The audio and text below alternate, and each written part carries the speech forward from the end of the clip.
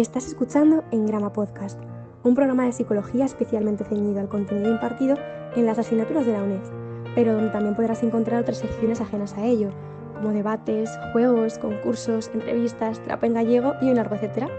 Te animamos a que te unas a la familia, te suscribas y nos escuches cuando salgas a correr, cuando te vayas a dormir o cuando te apetezca. Estamos en YouTube, Spotify o Apple Podcast, entre otras plataformas. Y de antemano, gracias por escucharnos.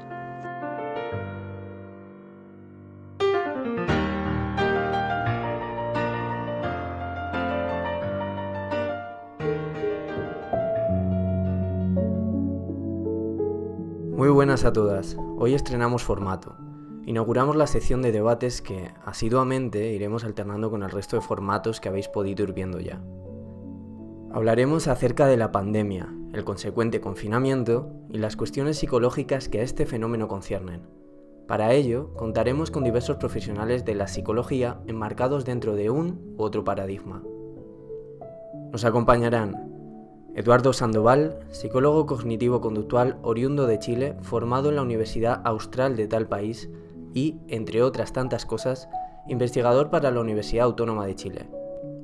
Victoria Rojas, psicoterapeuta uruguaya, diplomada en psicoanálisis de las configuraciones vinculares y especializada en la psicología de los servicios de salud. José Luis Miranda, psicólogo psicoterapeuta cognitivo-conductual, residente en Barcelona, especializado en tratamientos de ansiedad y trastornos del estado de ánimo. Miriam Rocha, psicóloga conductual licenciada por la Universidad Autónoma de Madrid, la cual desempeña labores clínicas en ITEMA, abordando cuestiones de modificación de conducta, y labores docentes en la Universidad Europea de Madrid. El debate será fragmentado en bloques. Cada bloque constará de una serie de aspectos cuyas preguntas serán dirigidas a los diferentes profesionales de manera equitativa. Una vez todos hayan brindado su perspectiva al respecto, habrá lugar para réplicas y matizaciones, antes de dar paso al nuevo bloque. Esperemos que os guste, que os sean esclarecidas algunas dudas, que os sea, a fin de cuentas, de ayuda. Hemos tenido la fortuna de contar con unos profesionales de 10, a la par que grandes personas. Por supuesto, os dejamos sus redes en la descripción, no dudéis en echarles un vistazo. Y sin más, al lío.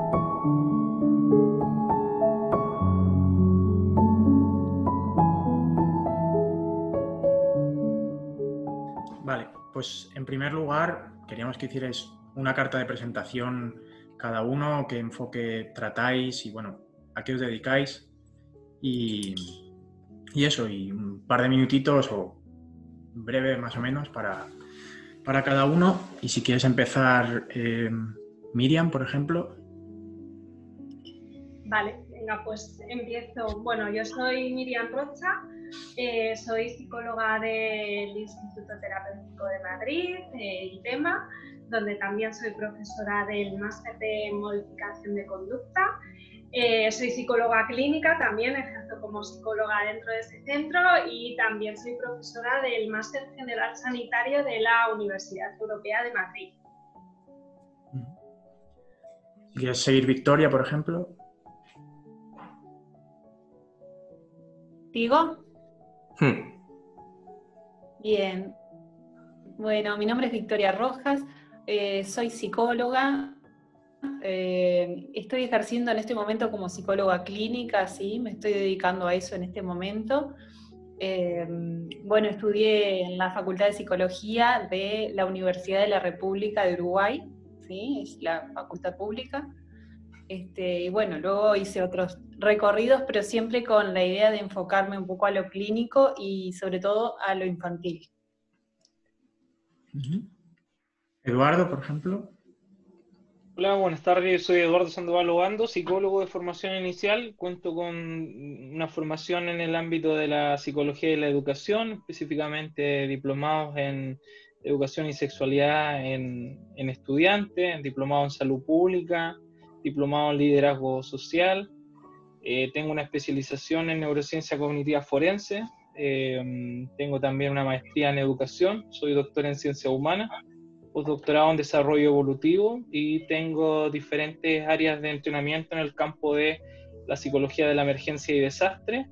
Soy de la Sociedad Chilena de Psicología en Emergencia y Desastre en mi país y actualmente me desempeño como académico e investigador en la Universidad Autónoma de Chile, eh, complementándolo también con eh, algunos procesos de investigación que desarrollo con algunos colegas de la Facultad de Psicología en la Universidad de Valencia, España. Y además participo como profesor en diferentes programas de posgrado, eh, tanto en Chile como en España específicamente. ¿En tu caso, José Luis? Vale, pues bueno, yo estoy en Barcelona, soy psicólogo psicoterapeuta, soy psicólogo sanitario de orientación cognitivo-conductual, muy parecido a lo de Miriam, pero como más grave supongo. y también colaboro con la Universidad de Barcelona en un proyecto que se llama Exodes, de observación del espacio público. Y nos dedicamos a registrar exactamente cómo se utiliza el espacio público y si está adecuado al uso real que se le da. Vale, y como hoy lo que queremos tratar es, bueno, pues un episodio de debate acerca de, la pandemia y cuestiones psicológicas que puedan atañer a esta, eh, lo primero que queríamos tratar es los modos de afrontamiento de la pandemia y del confinamiento. Es decir, a qué personas les puede haber afectado más, a qué personas les puede haber afectado menos, hablando de, desde un punto de vista general, y qué pautas generales podemos llevar a cabo para afrontar este tipo de tesituras mejor. Si, bueno, quien quiera comenzar en este caso, luego iremos alternando. Si queréis que sigamos el orden de antes ahora y que inicie Miriam de nuevo, genial. Bueno, pues eh, si queréis inicio yo.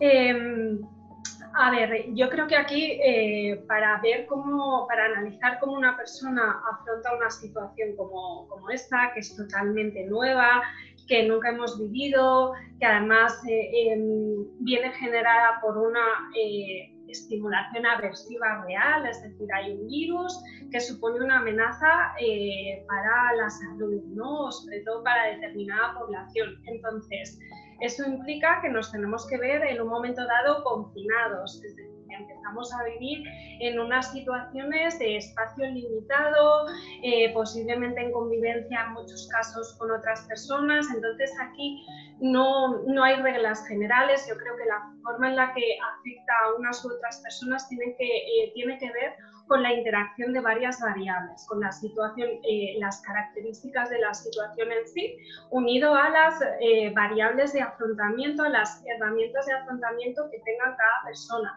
Y además, por supuesto, a un montón de variables que, que tendríamos que analizar en cada caso, ¿no? Mm. ¿Qué tamaño tiene la vivienda? ¿Cuántas personas están conviviendo juntos? Otros estresores que igual ya existían y que pueden hacer mm, mm, pues, más dificultosa esa situación o que han venido añadidos precisamente por esta situación, ¿no? Personas que tienen un negocio, que están emprendiendo, personas que tienen que vivir, mm, pues, volver a casa de sus padres o alejarse de su pareja y estar eh, separados. Yo creo que no es justo analizar o, eh, sacar conclusiones en general de, cómo puede afectar un, confinamiento. Sabemos que de por sí puede haber ciertos efectos ya por el mero hecho de eh, perder reforzadores, de tener que pasar todo el tiempo dentro de casa durante un tiempo prolongado, pero bueno, habría que analizar aún así las circunstancias particulares. Hmm. ¿Quiere algún compañero aportar más cosas? Si quieres continuar, Victoria. Bueno, yo sí quería comentar una cosa de Miriam, si me permitís. Bueno, eh, a ver, evidentemente hay que eh, examinar el entorno y el contexto, ¿no? Porque es cada particular. Pero sí que, por ejemplo, en la Universidad Complutense hace poco salió una encuesta de que parece ser que los jóvenes de entre 20 y 35 años, si recuerdo bien, eran quizás los más afectados, ¿no? Porque están en un proceso de construcción social, ¿no? Bueno, de más desarrollo, ¿no? De eh, buscar trabajo, formar familias y todo eso, ¿no? Eh, creo que quizás ese sea el grupo de población que más, eh, más le está tocando, ¿no? Pero claro, evidentemente cada persona es un entorno y puede haber cosas mucho peores. Pero bueno, me parecía importante ahí resaltarlo.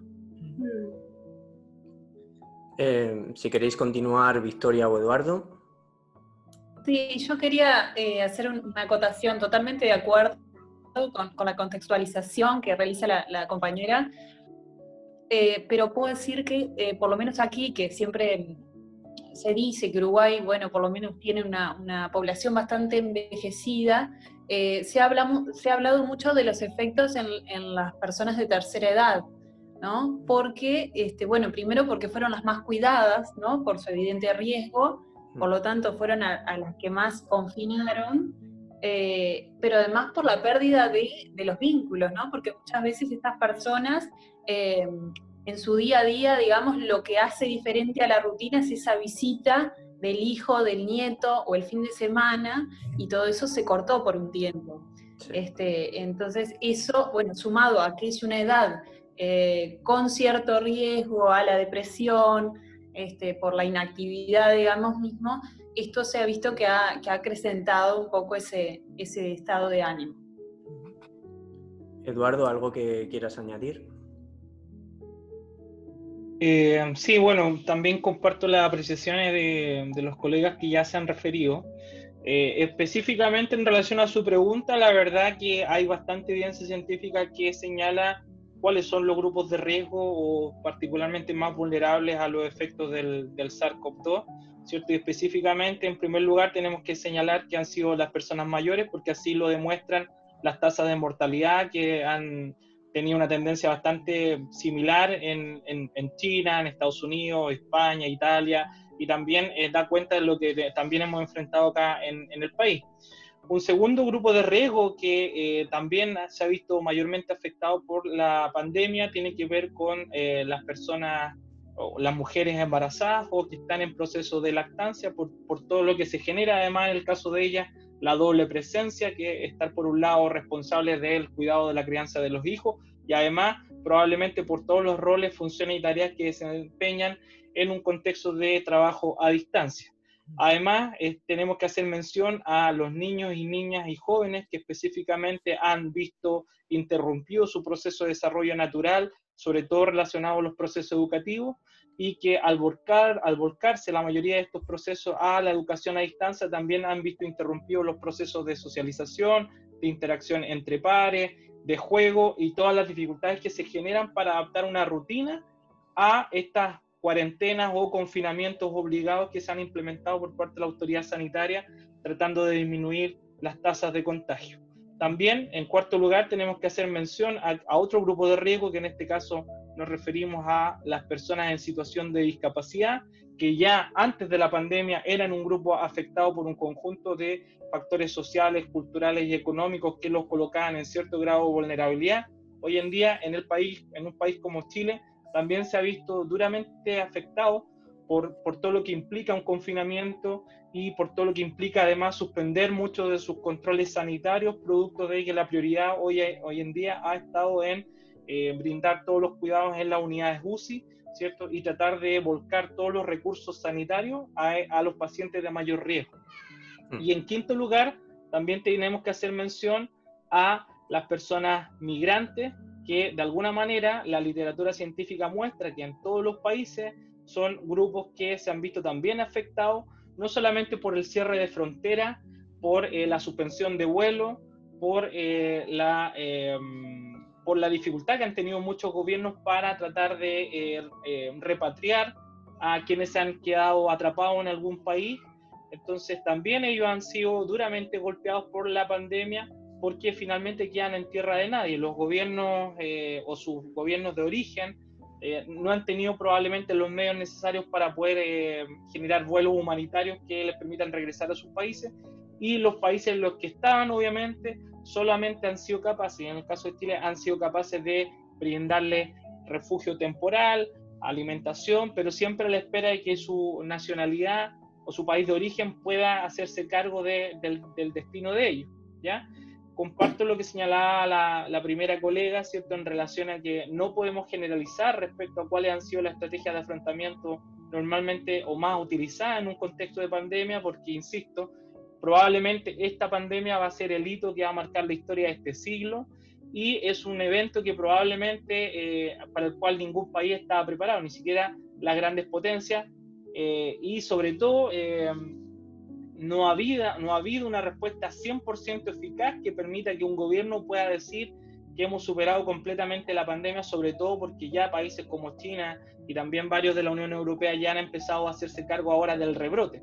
Nosotros en el caso de Chile recién estamos en en una cierta estabilidad y en un control de la tasa de contagio, ya estamos en una fase de regreso parcial a nuestras actividades cotidianas, pero también con el riesgo permanente de enfrentar próximamente el rebrote.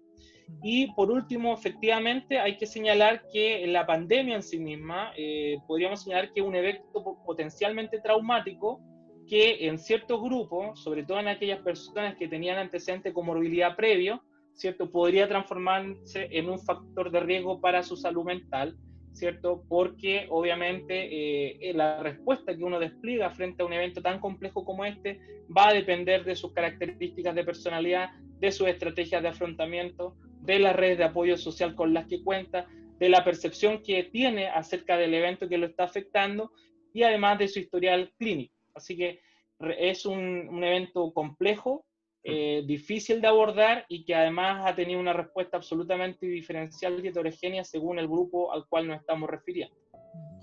Más adelante profundizaremos en algunos de los temas que, que habéis mencionado. No obstante, si ahora queréis replicar, matizar algo que haya dicho algún compañero, alguna compañera, y si no, pasamos al siguiente bloque. La verdad es que yo creo que entre todos hemos eh, puesto sobre la mesa, creo que los principales, eh, las principales variables y, mm. como decís, luego vamos a, ir abordándolas más detenidamente, así que si queréis pasamos a la siguiente pregunta. Si queréis pasamos al siguiente tema, que es, bueno, viene a ser las posibles secuelas psicológicas tanto a corto como a largo plazo. Y bueno, cuáles son los cuadros más frecuentes o los más lógicos tras una etapa eh, como esta, ¿no? Eh, muchas personas afirman padecer estrés, así como una irritabilidad más atenuada, con actitudes hostiles hacia los seres queridos o al que tengan más cerca, básicamente. Además, eh, se ha hablado de mucho de este síndrome de la cabaña, no sé si habéis oído hablar de él, de la agorafobia, de la hipocondría, que ha afectado tanto a personas con patologías previas como sin ellas, y no sé, quería preguntar qué luz podéis dar acerca de, estos temas y de estas afirmaciones. El famoso síndrome de la cabaña. Eh, ¿quién, si quieres iniciar tú, por ejemplo, José Luis, en este caso. Bueno, la verdad es que hay tantos, supongo que mis compañeros me ayudarán porque es que no sé por dónde abordarlo. Bueno, quizás lo de la cabaña, eh, no sé qué pensarán mis compañeros y compañeras, pero a mí me parece algo un poco sacado del resplandor, ¿no? Que es la película que conocemos todos que pasa eso, ¿no? Pero claro, la realidad de cada persona es muy diferente, ¿no? Y cada persona, y poco tiene que ver lo que pasa en la película de Resplandor o que lo, que le pasa a leñadores con, lo, con la vida urbana, ¿no? Y en la pandemia hay una gran distancia, ¿no? Y, y dependerá mucho de lo, del contexto, como comentábamos, ¿no? No es lo mismo quedarse encerrado ahí con compañeros de la universidad que estar de cuidadora de tu abuela o, estar con tu familia, ¿no? O mm. simplemente quedarte, quedarte solo, ¿no? Es una cosa, eh, cada uno lo llevará a su manera. Y respecto a los síntomas, pues dependerá también del contexto, ¿no? habrá gente que ya eh, arrastraba ciertas cosas que no estaban del todo tratadas, ¿no? Y que le cueste mucho moverse por la incertidumbre, ¿no? O en el caso de hipocondría, ¿no? Que tenga una dificultad en, descartar síntomas físicos, ¿no? Que cualquier cosa lo atribuya a que pueda ser la, el COVID, ¿no? Que aparte también es un problema de cómo se han presentado los síntomas del COVID y cómo se siguen presentando, ¿no? Que no sé, son, nos lo definen de forma tan vaga y que puede ser cualquier cosa, como puede ser, por ejemplo, palpitaciones o sudoración, cosas que se, eh, se confunden mucho con la ansiedad, ¿no?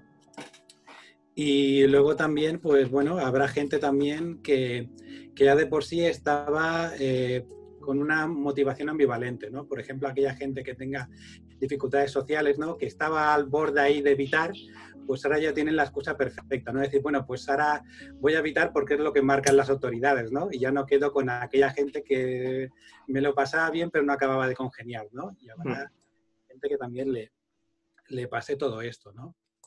incluso en ese mismo sentido habrá gente que se habrá eh, sobrecargado con cuidados porque habrá familiares que también lo utilicen como excusa y luego también estarán pues todos los duelos que que no se han acabado de resolver, ¿no? Sobre todo la primera etapa del duelo, ¿no? Eh, y bueno, y unas cuantas cosas más que... Bueno, y también lo de la depresión, como comentábamos, que tiene mucho que ver con la indefensión, ¿no? Y, con, y algunas teorías también apuntan la calidad de relaciones sociales. Claro, eh, ahora mismo hay, hay gente que se ha acabado de, aislar aún más, ¿no? como esta gente ambivalente de la que comentábamos. ¿no? Estas cosas pueden desembocar en, en, una depresión fácilmente. ¿no? Hmm. Pues si quien queráis que continúe, mm, quien quiera matizar algo. ¿Mm? Sí, yo. Vale, vamos, vamos, vamos Quien queráis, si vais a todos añadir algo, pues por ejemplo, en este caso que continúe Eduardo, que antes ha sido de los últimos, y luego vamos con el resto. Ya, los últimos seremos los primeros, dicen. Por bueno, eh, yo comparto también un poco lo que ya señalaba eh, José, ¿cierto? La verdad que hay literatura científica disponible, eh, yo diría que como nunca antes, hay muchos reportes que están saliendo y que empezaron a salir desde diciembre a la fecha a partir de la experiencia en China y luego de lo que fueron sistematizando otros países. Eh, si nos vamos a nivel global, la OMS ya estima que un, 4% de la población en el mundo podría desarrollar algún tipo de trastorno de salud mental como consecuencia de la pandemia.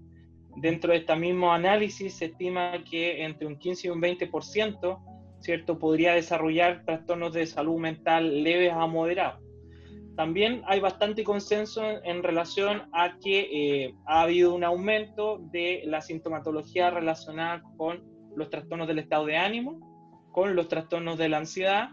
Ha habido también dificultades importantes y alteraciones en los patrones de sueño y también alteraciones importantes en los patrones de alimentación, además de una mayor o un aumento en la percepción de estrés percibido por parte de, eh, los individuos, sobre todo y específicamente los grupos de riesgo que ya les señalaba, y además todo lo que están vivenciando los profesionales o el personal sanitario como respondedores de emergencia.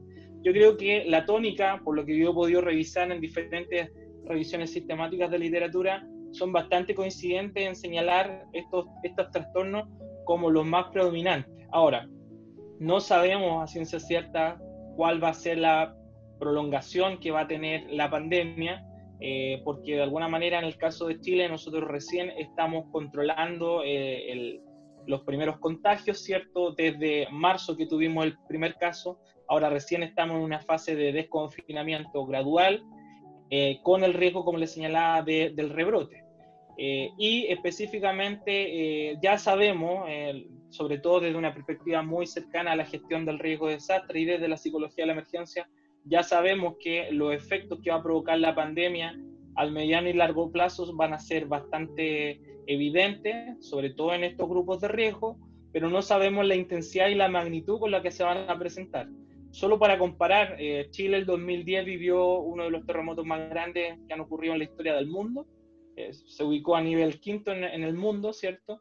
Y eh, los primeros tres años las tasas de consulta en salud mental se mantuvieron relativamente normales hasta el tercer año, es decir, tres años después de este evento traumático, las tasas de consulta de salud mental se triplicaron. Por lo tanto, ya sabemos, y por todos los estudios que hay en torno al estrés, sabemos que este evento, como potencialmente traumático, va a generar eh, secuelas al corto, mediano y largo plazo. La intensidad y la magnitud solo el tiempo lo va a ir mostrando. Así que eh, ya algunos vaticinan que este sería un desastre lento, eh, o como otros lo denominan, una sindemia, porque estamos vivenciando un conjunto de factores sociales, económicos, sanitarios y ambientales que nos están afectando de manera simultánea y que han puesto en jaque las capacidades y recursos de afrontamiento del individuo, de las comunidades y de los países. Y por último, para acotar, eh, yo comparto lo que señalaba el colega previamente respecto al síndrome de la cabaña, la verdad que en el campo de la psicología y con mucho respeto también hay una tendencia importante a patologizar todas las conductas. ¿ah? los psicólogos y psicólogas muchas veces caemos en colocarle a todo un nombre, a colocarle a todo un trastorno y a patologizar cualquier tipo de reacción. Lo cierto es que uno podría ser enfático en señalar que muchas personas han enfrentado este evento de la mejor manera posible, utilizando los recursos personales con los que cuentan, insisto, para un evento que para, para el cual nadie estaba preparado. Eh, y eh, desde el punto de vista científico, el síndrome de la cabaña carece de, bastante evidencia científica, de hecho no está considerado en ninguno de los manuales de clasificación diagnóstica, y más bien me parece que describe el comportamiento de ciertos grupos en ciertos contextos, bajo ciertas condiciones, que, que, que no tienen tanta similitud probablemente con lo que estamos vivenciando hoy en día en el contexto de la pandemia provocada por el SARS-CoV-2, así que yo creo que hay que verlo con cautela y evitar generalizar esto como, como un trastorno que se va a instalar en nuestro país. Hmm. Eh, tu turno, Victoria, si quieres. Bien, no, totalmente de acuerdo con el tema del síndrome este inventado.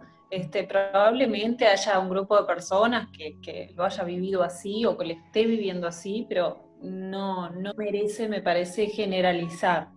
Este, como ya sabemos, va a depender mucho de esas características personales, ¿sí? de personalidad y lo que haya de base un poco en, esa persona. Este, lo mismo para el tema de, bueno, cuáles son los, síntomas este, prevalentes. Eh, también, como decía, creo que era José, va a depender de lo que ya la persona traía un poco, ¿no? Si tiene una tendencia a la ansiedad, bueno, esa ansiedad se va a ver este, eh, impulsada por esta situación, como por otras situaciones estresantes, pero esta con, mayor tendencia. Este, lo mismo las personas que ya tenían algún episodio de depresión o tenían tendencia hacia ella. Acá lo que más se ha visto en mayores porcentajes son esas dos, la ansiedad y la depresión.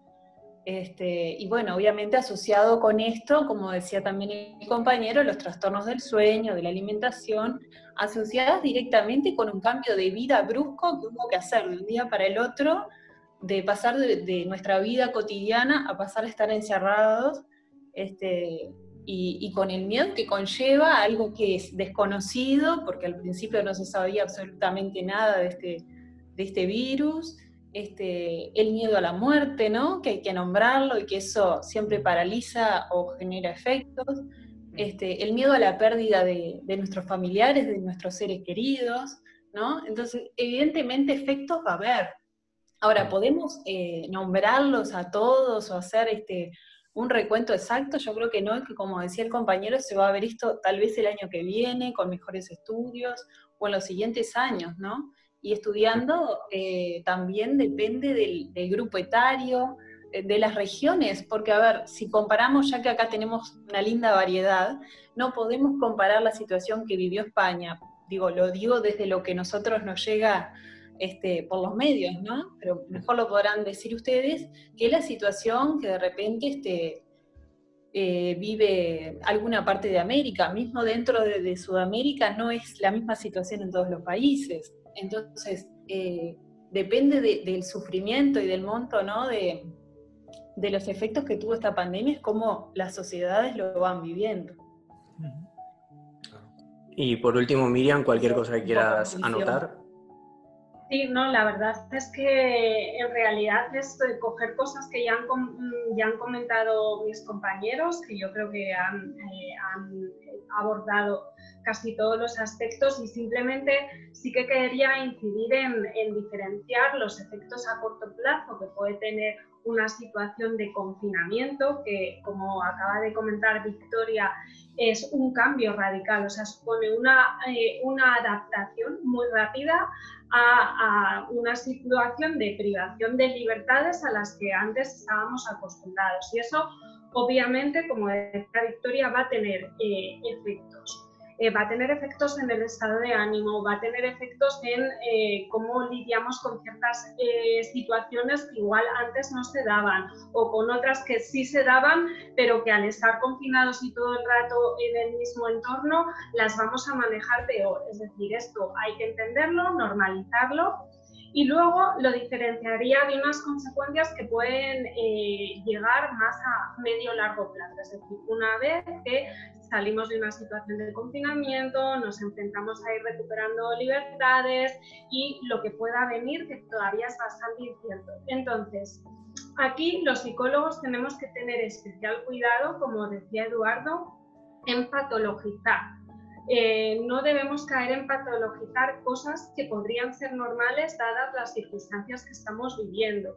Y como decía Victoria también, eh, todo va a depender mucho de la interacción de, las variables contextuales, ¿no? aquello en lo que insistimos siempre los psicólogos, que para entender un problema hay que entender las variables del contexto de la persona. No es lo mismo un país que otro, no es lo mismo una familia que otra, los recursos económicos de cada persona, los recursos de afrontamiento de cada persona que tienen que ver con su historia de aprendizaje y, como decía también José Luis, el que exista o no problemas previos o dificultades previas que se han podido ver agravadas por esta situación. Pero sí que me parece muy importante incidir en que, eh, en general, los animales y entre ellos los seres humanos tenemos una enorme capacidad de adaptación, con lo cual creo que la mayoría de las personas nos adaptaremos a esta situación sin tener ningún problema psicológico, sin desarrollar lo que podemos llamar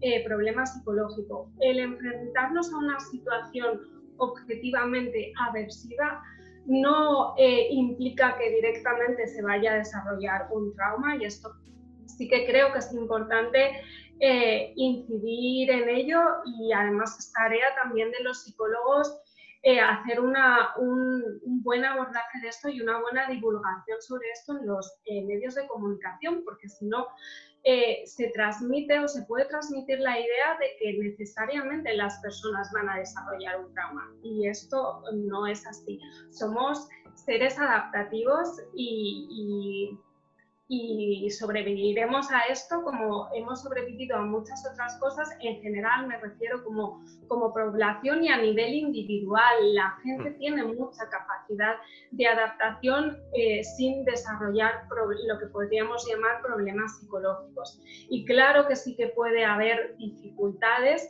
pero... Eh, Mm, en gran medida las personas se terminarán adaptando a esta nueva situación y lo que los problemas que han surgido a lo mejor durante el confinamiento irán progresivamente desapareciendo en la mayoría de los casos. Obviamente habrá personas que necesiten ayuda y sería lo más lógico buscarla si, de verdad hay algo que interfiera en, el correcto desarrollo de, su vida y la vuelta a la normalidad. Pues vamos, dicho todo esto, no sé si alguien quiere objetar alguna cosa, algún, alguna réplica o algún matiz. Bueno, una cosa sí que podría añadir. Eh, una algo de la pandemia que, me parece que no habéis comentado ninguno, es que da la sensación de que ha sido producto de la inacción del gobierno, ¿no? Que también le añade un plus de, incertidumbre, ¿no? De decir, bueno, pues el gobierno podía habernos salvado, ¿no? Hay mucha gente que tiene esa sensación. Creo que es una cosa también que, es hmm. remarcable. Luego lo abordaremos también un poquito de perfil, pero bueno. Si queréis pasamos al siguiente tema. Si no queréis añadir ninguna cosa más, pasamos. Estás muteado, Eduardo. Estaba viendo si estaban atentos a la conversación.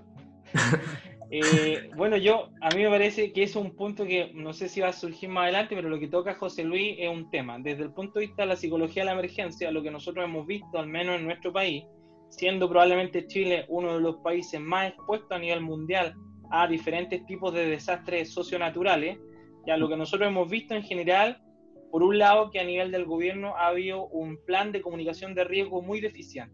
Es decir, se ha improvisado mucho, la comunicación de las medidas sanitarias ha sido a ratos difusa, sobre todo durante las primeras semanas en las cuales aumentaron los casos, ¿cierto? Y además la planificación estratégica de la red asistencial también fue eh, reactiva porque probablemente Chile, al igual que muchos países en el mundo, probablemente no dimensionaron la magnitud, la velocidad y las características con las que evolucionaba el SARS-CoV-2.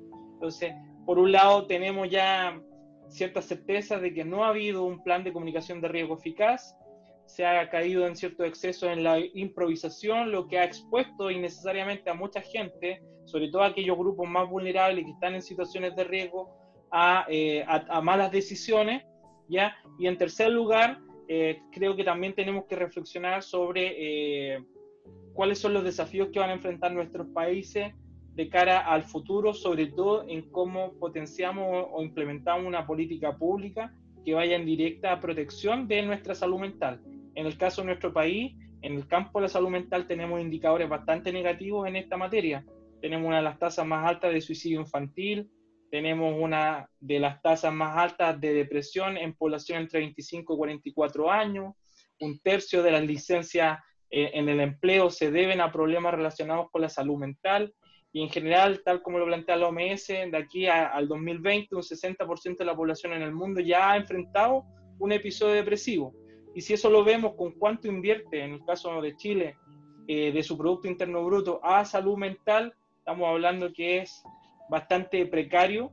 Si entre el 8 y el 9% del Producto Interno Bruto se destina a salud, menos del 5% va a salud mental. Por lo tanto, la verdad que en nuestro país la salud mental sigue siendo el hermano pobre de la salud pública.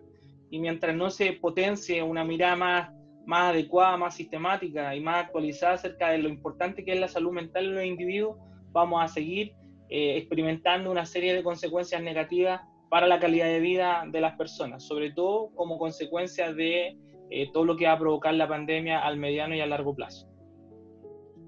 Victoria o Miriam, ¿algo que añadir más o pasamos al siguiente tema? Realmente de acuerdo, ¿no? Me, asentía todo lo que decía este Eduardo este, del tema. Vivimos una situación similar acá, la salud mental, me gustó la frase, esto del, eh, ¿cómo fue que dijo? El amigo pobre, algo así, el hermano pobre. Este, lo que se hizo así como novedoso en nuestro país fue poner una línea gratuita en el momento de, este, bueno, que surge todo esto para, bueno, para que a nivel este, de todo el país la gente pudiera acceder por lo menos a un apoyo este, rápido eh, vía telefónica, pero bueno, como ya sabemos, no, es lo ideal y, este, y la salud pública está... Eh, colmada de consultas que no, no, dan abasto y como ya sabemos, no hay presupuesto para contratar a, más profesionales. Y la parte, bueno, privada, como ya sabemos, no es accesible para todo el mundo.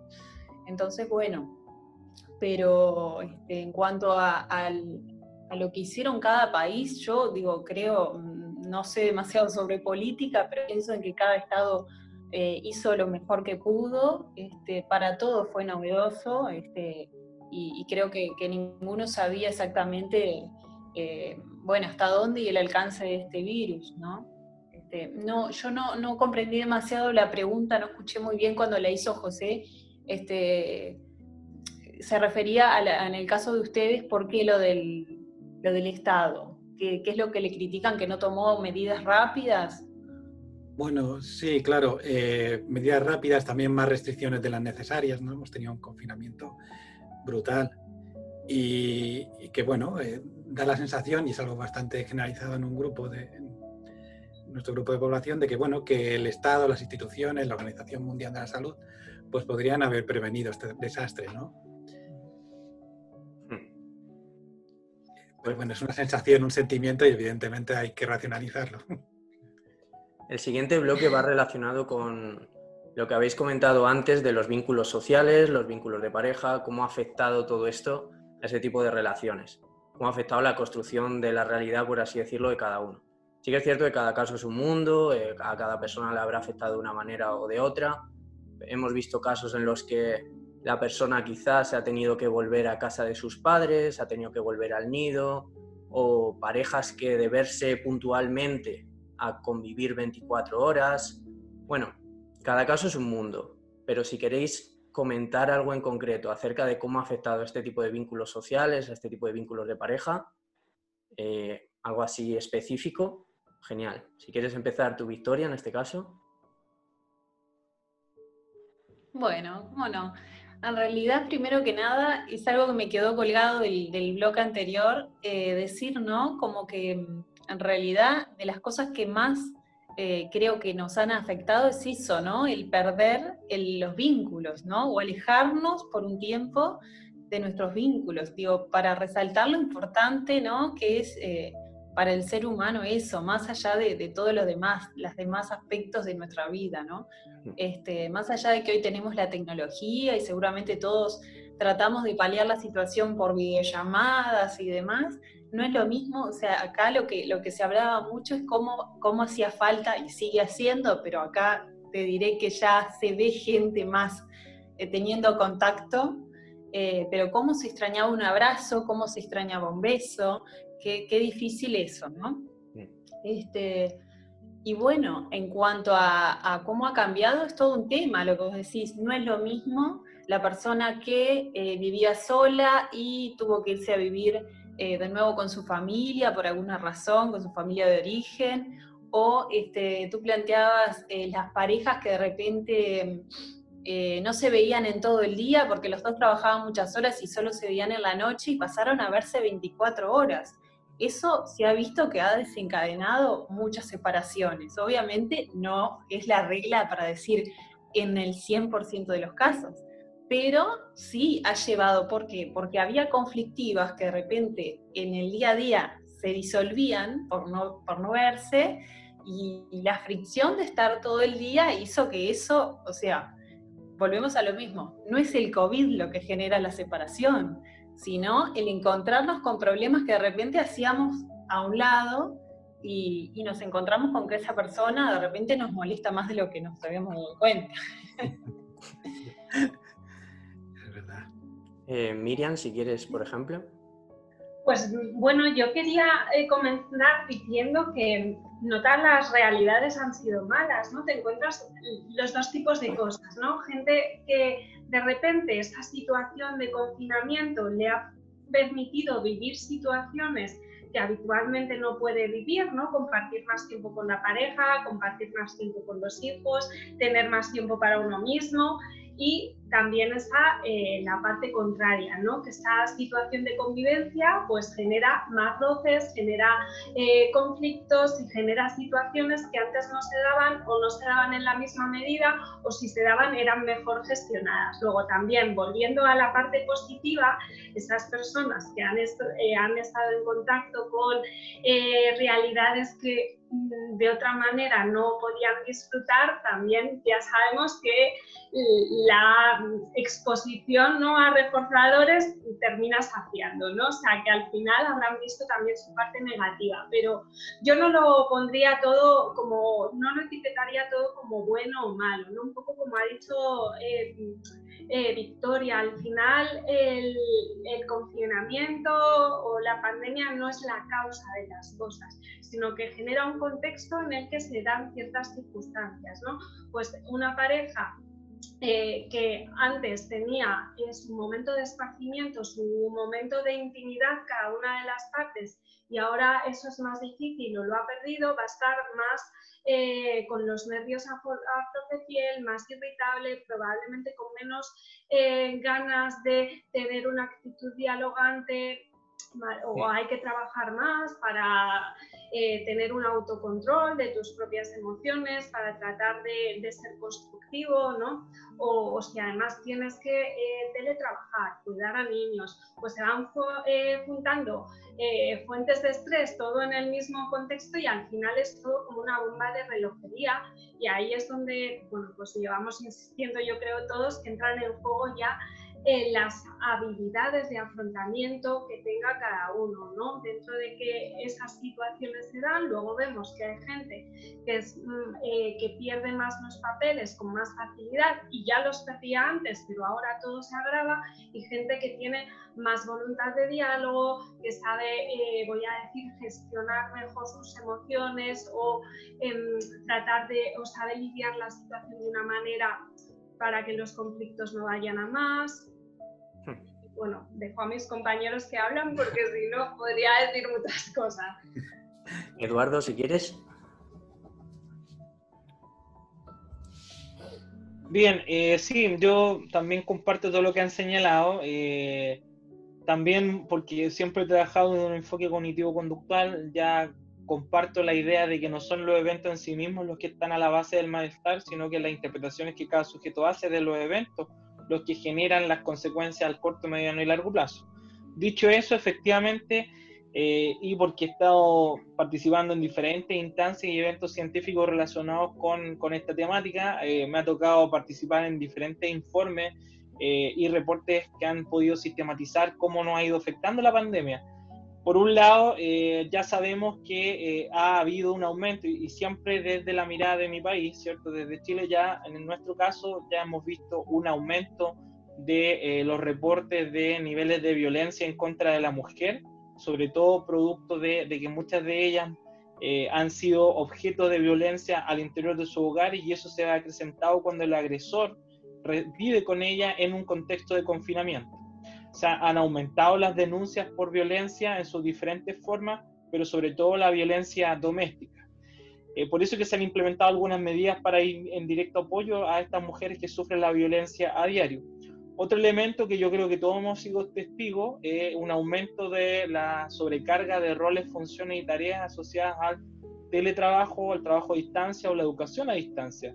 Personalmente, yo que me desempeño como académico en la universidad, uno puede comparar todo lo que uno hacía el año pasado con todas las actividades que han surgido ahora en este contexto de la virtualidad. Yo diría que se han triplicado todas las actividades de docencia, de preparación de material, las actividades propias de la investigación. Entonces yo creo que todas las personas de una u otra manera han visto sobrecargada su rutina producto de este nuevo escenario.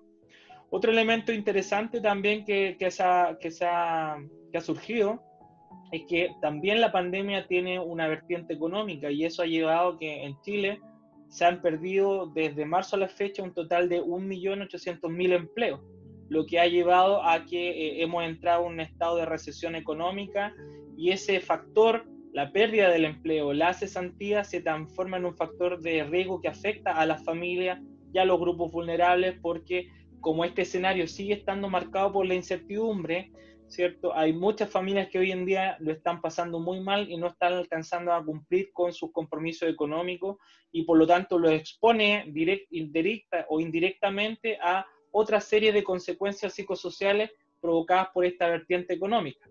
Otro elemento importante también es eh, las condiciones sociales en las que se vive una pandemia. Ya lo hablamos, las condiciones de habitabilidad, de confinamiento, el acceso a las redes de apoyo, el apoyo social en los grupos más vulnerados, por supuesto que lo expone más duramente a los efectos que está provocando esta pandemia, eh, porque no es lo mismo estar en una situación que al menos de habitabilidad te permite realizar un confinamiento seguro versus aquellas familias que están en una condición de hacinamiento en la cual es imposible cumplir con las medidas sanitarias dispuestas por el nivel central. Y eh, otro elemento importante, ¿cierto?, que, que, yo creo que ya señalaban las colegas, es la dificultad que han tenido algunas personas para adaptar su rutina a este nuevo contexto. Y desde ahí yo me conecto también con las cosas positivas o optimistas que han, que han surgido en este contexto de pandemia. Yo creo que por un lado esta pandemia debe permitirnos ver la importancia que tienen los afectos, las emociones, las cosas simples de la vida. Hoy en día, después de muchas semanas o meses de haber estado en un confinamiento muy estricto, valoramos la importancia de un abrazo, de un, de un saludo, eh, de valorar los vínculos familiares, de valorar la importancia de las redes de apoyo con las que contamos, de valorar la posibilidad de tener una salud adecuada, ¿cierto? La importancia que tiene la actividad física, eh, sobre todo ahora que muchos hemos estado en confinamiento, valoramos la posibilidad de salir a un parque, de caminar, de respirar aire puro.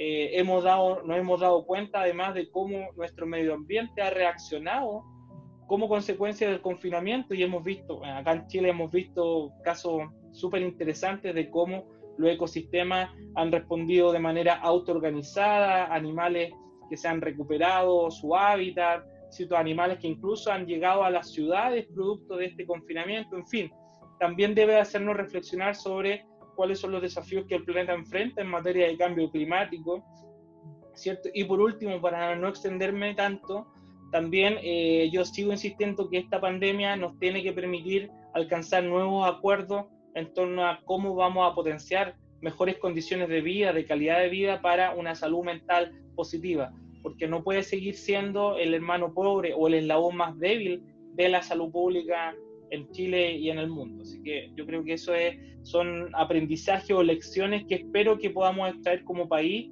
y que no volvamos a la, a la, normalidad que teníamos antes, sino que a una nueva normalidad en la cual todos los países realmente puedan sacar lecciones y podamos realmente avanzar hacia la construcción de un mundo distinto.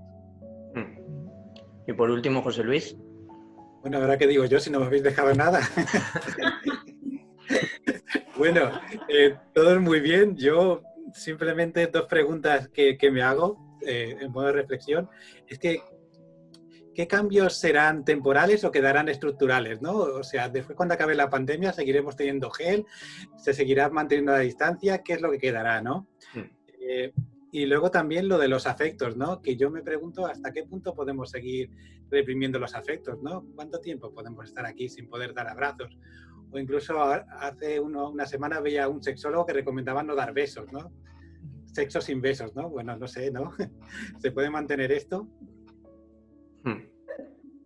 ¿Alguien que quiera ah, añadir alguna cosita o replicar? Yo quería agregar algo, porque quedó como que tal vez me quedé con la parte negativa y por supuesto como toda situación tiene su lado bueno y su lado malo. Una de las cosas positivas que, hemos visto es, eh, bueno, como decían, eh, si bien este, los padres de repente se encontraron con, un, eh, con una super actividad, ¿no? De tener que llevar el trabajo a casa, el cuidado de los niños, eh, que muchas veces, bueno, los niños pasaban muchas horas en el colegio o, eran cuidados por, otro, por otros cuidadores, y sumado a eso, atender a la actividad, no sé cómo es allí, pero acá se utilizó mucho durante algunos meses eh, hacer clases eh, virtuales, ¿no?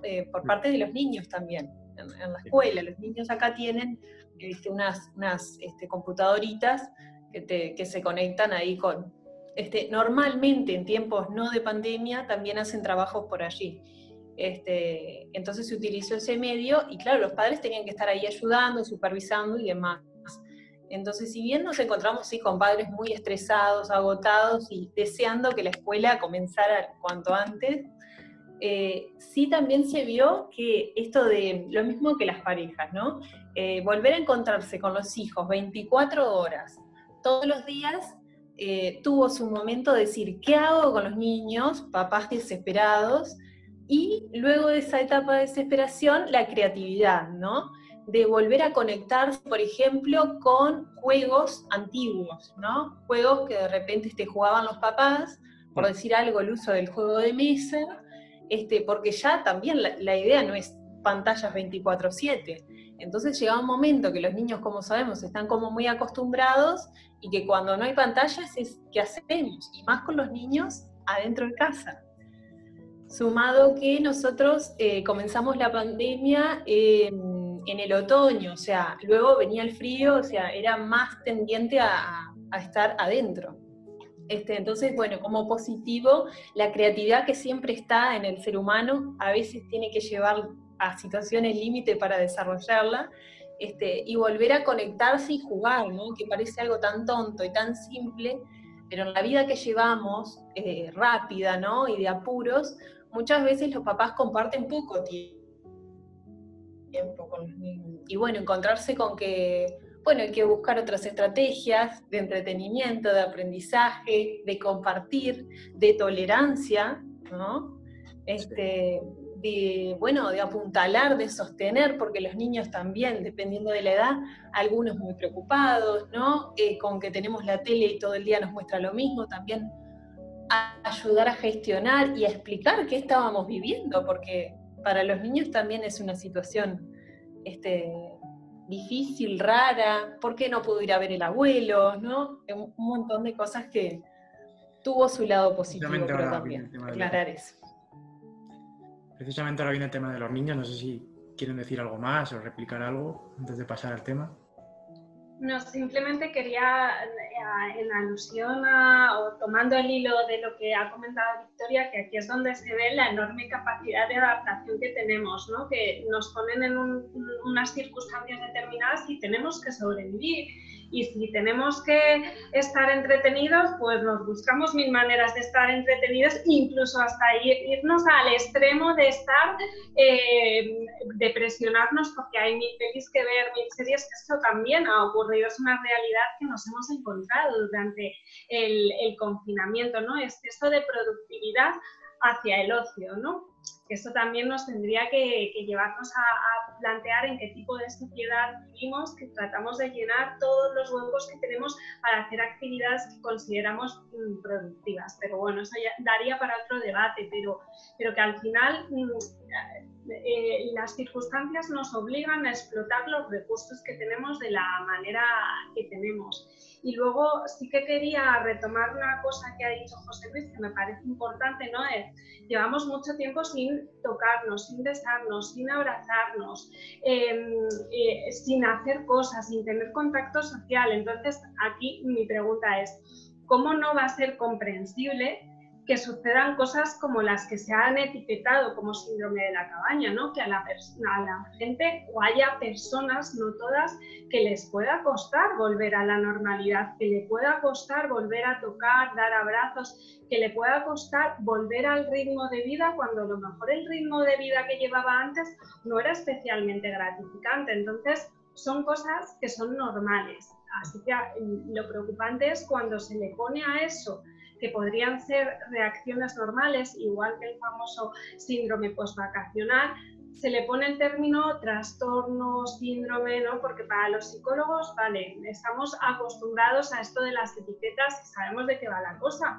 pero a la población cuando oye estas cosas tienen una connotación negativa y lo que hay que explicar es que son reacciones completamente normales cuando hemos estado habituados a estar dos meses y medio, en el caso de España, por ejemplo, a una situación de estar entre las cuatro paredes de tu casa. Entonces, bueno, lo normal es que pueda costar volver a la normalidad. Como decía antes, es un proceso de habituación que la mayoría de nosotros, los que hayan tenido dificultades, los que no, perfecto, pero se hará en general, en la mayoría de los casos, de forma pues muy natural hasta volver a normalizar y cuando nos podamos abrazar, besar de forma más, mm, eh, más libre, que todavía mm, eso pues no, no, no, podemos, pues igual hay gente que al principio le cuesta, pero nos volveremos a habituar. Hmm. Pues pasamos al siguiente bloque, si queréis. Vale, pues el siguiente bloque es sobre el desarrollo cognitivo y conductual en los niños. Y bueno, antes de nada quería recordar un programa que hicimos con Lucía Tintoré acerca de las secuelas del confinamiento en los niños. Y bueno, nos dijo que el problema no está tanto en, los, términos de lo que el niño pierda en su desarrollo, sino más en el coste de oportunidades que han tenido o que podían haber tenido. Eh, yo opino que, bueno, que esas oportunidades van muy relacionadas con el desarrollo de sus habilidades sociales y el desarrollo de la creatividad, y etcétera, temas que hemos hablado ya. Además, estas oportunidades han sido sustituidas en buena medida por las pantallas, que en su justa medida son beneficiosas, pero su exceso sobreestimula al niño. Se podría decir que les han restringido ciertas experiencias, ciertos aprendizajes cruciales a estos niños, en un periodo crítico además. Y bueno, ¿qué opináis sobre ello? Si quieres, Miriam. Bueno, yo creo que aquí, o sea, em, como, venimos comentando, al final eh, los niños que son como esponjas tenderán a adaptarse y a, em, pues eh, generar o, recomponer, no, no se me ocurre otra palabra mejor, los aprendizajes que no han tenido en este tiempo, porque en realidad ha sido un corto espacio de tiempo en que hemos estado eh, confinados. No sabemos cómo va a marchar las cosas, qué es lo que va a pasar eh, después, pero sí que es verdad, Javier, como decías, que hay periodos críticos, ¿no? sobre todo a ciertas edades que son ventanas del desarrollo en el que conviene que ciertas capacidades sean estimuladas precisamente en esas etapas. Y aquí es donde eh, yo creo que hay mayor riesgo. Si no, el resto de, de, habilidades, capacidades, yo creo que, que, no sufrirán mayor deterioro, pero sí que tenemos eh, un, sí que puede existir un riesgo con población que está precisamente en esas ventanas del desarrollo, como también tenemos otro riesgo en, el otro extremo, ¿no? en personas que están, eh, personas mayores que están en un periodo de deterioro ya cognitivo o sufriendo incluso demencias. Ahí hay un empobrecimiento absoluto de, de, la estimulación y sí que se han visto, creo que antes eh, Victoria aludía a ello, se han visto retrocesos muy importantes y eso ya sí que no es compensable. En los niños quizá eh, se pueden hacer muchas cosas, pero, pero sí, eso, está, eso ha ocurrido. Lo que pasa que yo creo que dadas las circunstancias no es algo extremadamente grave, porque al final son dos meses y medio creo que, que es perfectamente salvable. ¿Quieres continuar, Eduardo? Bien, eh, perfecto. Yo comparto la idea de que eh, los niños y niñas tienen una enorme capacidad de adaptación y de hecho eh, probablemente nos dan cátedra a nosotros los adultos respecto a cómo adaptarse a situaciones excepcionalmente complejas como lo, lo que ha provocado la pandemia. en cuanto al impacto que esto ha tenido sobre su salud mental, en primer lugar nos ha demostrado la importancia del juego el juego y sus maravillosas posibilidades creadoras eh, como un recurso, digamos, protector para afrontar eventos vitales estresantes, sobre todo en contextos de confinamiento. Y eso, eh, y ya sabemos las implicancias sociales, culturales que tiene en el desarrollo de niños y niñas. Eh, desde el punto de vista de la salud mental, ya hay reportes de que efectivamente, por ejemplo, ha habido un aumento de la prevalencia de, de ansiedad, en, niños, ¿cierto? Ya se ha visto también que aquellos niños que enfrentaron el confinamiento con sus padres muestran una menor sintomatología depresiva y ansiosa que aquellos que han sido separados de sus progenitores, ya sea por enfermedad, por tema laboral o por otro factor. Eh, también se ha visto que eh, ha, visto, ha habido un aumento del sedentarismo, una disminución de la interacción social y una sobreutilización de las plataformas digitales eso también se, transforma en un factor de riesgo, sobre todo en función del rango etario del cual del niño del que estemos hablando. No es lo mismo un niño de 6 años que pasa 9 horas frente a un computador que un adolescente. En todos los casos, ya desde la neurociencia hay bastante evidencia científica que muestra la importancia que tendrían los padres respecto a cómo utilizan y regulan estos dispositivos porque obviamente es importante que los niños y niñas en este contexto, sobre todo, desarrollen actividades más bien lúdicas, de interacción, de recreación, de estimulación física, más que estar dependiendo gran parte del día de estos dispositivos. Además, porque estos dispositivos y el acceso a Internet y el consumo de Internet también se ha prestado en contexto de pandemia a otros factores de riesgo, como por, por ejemplo en el caso de Chile ha visto, se ha observado un aumento de las denuncias por casos de grooming, sexting y eh, utilización de imágenes de niños con fines pornográficos, lo que también se transforma en un factor de riesgo. Otro elemento importante que podríamos señalar también que en el caso de los niños y niñas, más allá de su capacidad de adaptación, de la resiliencia y de la co-crianza que muestran sus progenitores para hacer frente a los desafíos que instala la pandemia, sí se ha observado por, sobre todo, experiencias que yo he podido leer de eh, Reino Unido, de Estados Unidos y de China, se ha visto que en este caso los niños eh, mostrarían mayores niveles de frustración por la dificultad para ejecutar sus planes habituales o de interacción con sus pares, ¿cierto? Ha habido un, un precario una dificultad para manejar el tiempo de ocio y de recreación. Es decir, yo creo que aquí hay que volver un poco a lo tradicional, probablemente a los que somos más, más mayores, de cómo antes con pocas cosas se podían realizar múltiples actividades didácticas o lúdicas. No, se no, se, no es necesario depender tanto de la tecnología, sino que hay que volver a lo esencial.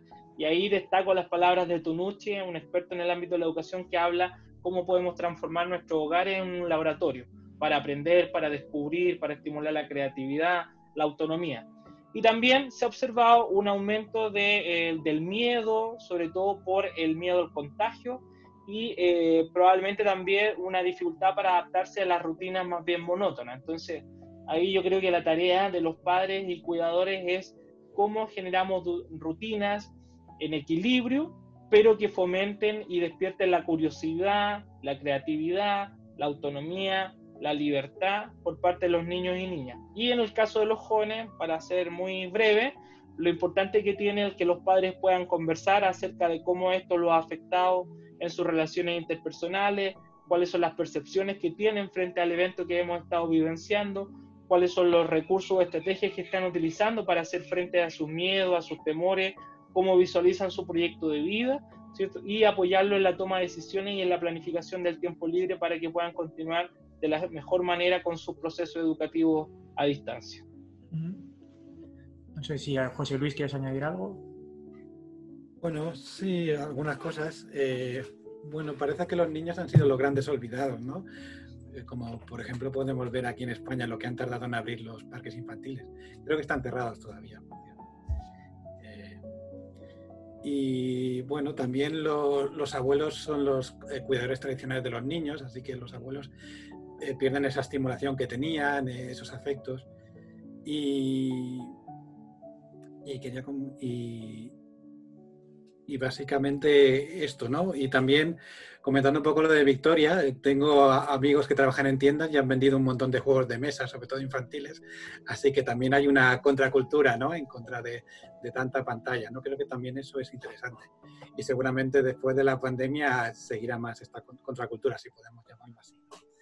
Y, y luego, pues poco más. También la, la importancia, que eso se dice muchas veces, pero creo que está, no está de más repetirlo, de no dejar a los niños en la sombra, ¿no? Y, sino que explicarles eh, por medio del lenguaje que se les pueda explicar a esa edad, de la manera que se pueda, lo más cordial posible, de lo que está pasando y responder a alguna de sus preguntas. Nada más que añadir. Y creo que quedas tú, Victoria, y, si, y luego si hay alguna réplica comentar si algo. Este, bien, bien por la venta de juegos de mesa. Este, bien, me alegro que eso, eso se esté dando en distintos lugares. Em, segundo, dos cosas. Eh, uno, comentarles que acá eh, ya, ya comenzaron las clases presenciales. Eh, ay, no me acuerdo ahora si fue en julio. Se fue haciendo en etapas, no fue todo el mundo, no fue todo junto. Este, ahora creo que ya, ya está normal, digamos. Este, y justamente, em, obviamente no se hizo antes por, precauciones, porque todo se fue haciendo en etapas, este, pero había como un gran apuro eh, una visión desde el gobierno del apuro de, que los niños vuelvan a la escuela eh, no por un riesgo cognitivo, como decían todos los compañeros, ¿no? sino por un riesgo social y emocional, por dos partes. Eh, una, por la pérdida de, este, del vínculo con sus compañeros, con sus amiguitos, con la maestra, que es una figura fundamental a esa edad también.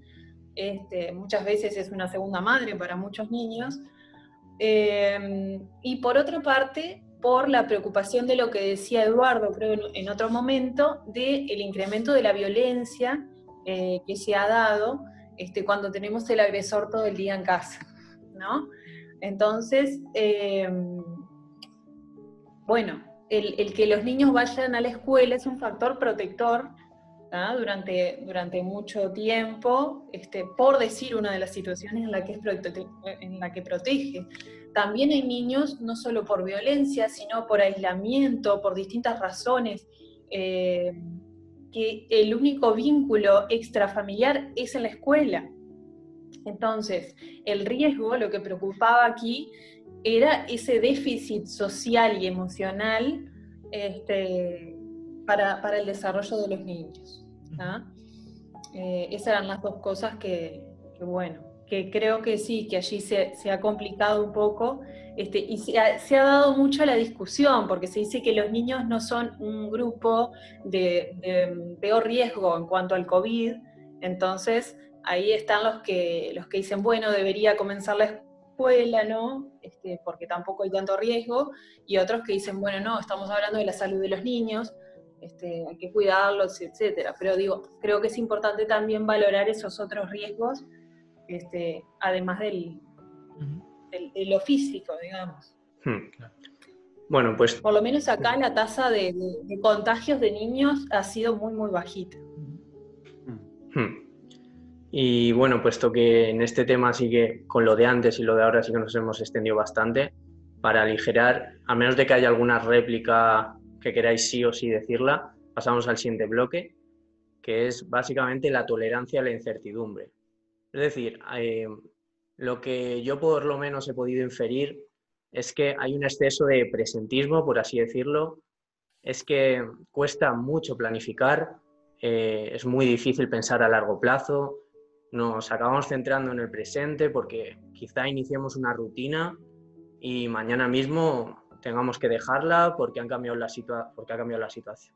La situación, ha cambiado la tesitura y al final cómo lidiar con esa incertidumbre, cómo podemos manejar todas esas circunstancias.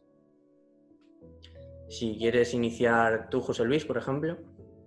Bueno, lo que hemos comentado, eh, planificación flexible, básicamente yo creo que se puede resumir en una frase, e intentar no caer en la pasividad y en el victimismo, que básicamente eso eh, significa caer en, enfermedad, si queremos llamarlo así, o al menos si se cae no, no mantenerlo.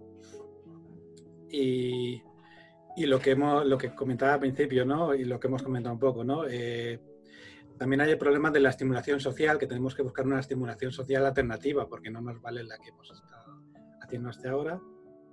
Y básicamente yo diría que, que, la, que, es lo importante, ¿no? Lo que comentaba también Miriam, ¿no? Una intervención pues adecuada al contexto de la persona y muy personalizada, ver qué estrategias de afrontamiento tiene, ver qué, reforzadores tiene disponible en el ambiente y a partir de ahí pues diseñar, ¿no? Cómo se puede mover el día a día, qué retos se enfrenta y buscar una manera de, encontrar gratificación eh, y ir tirando, que se dice, ¿no? Ir haciendo la vida laboral, la vida social y todo esto. Si quieres continuar, Eduardo, que por cierto, eh, como nos has dicho antes que tenías tiempo limitado, si en algún momento tienes que, que dejarlo, nos dices y sin problema, no te preocupes.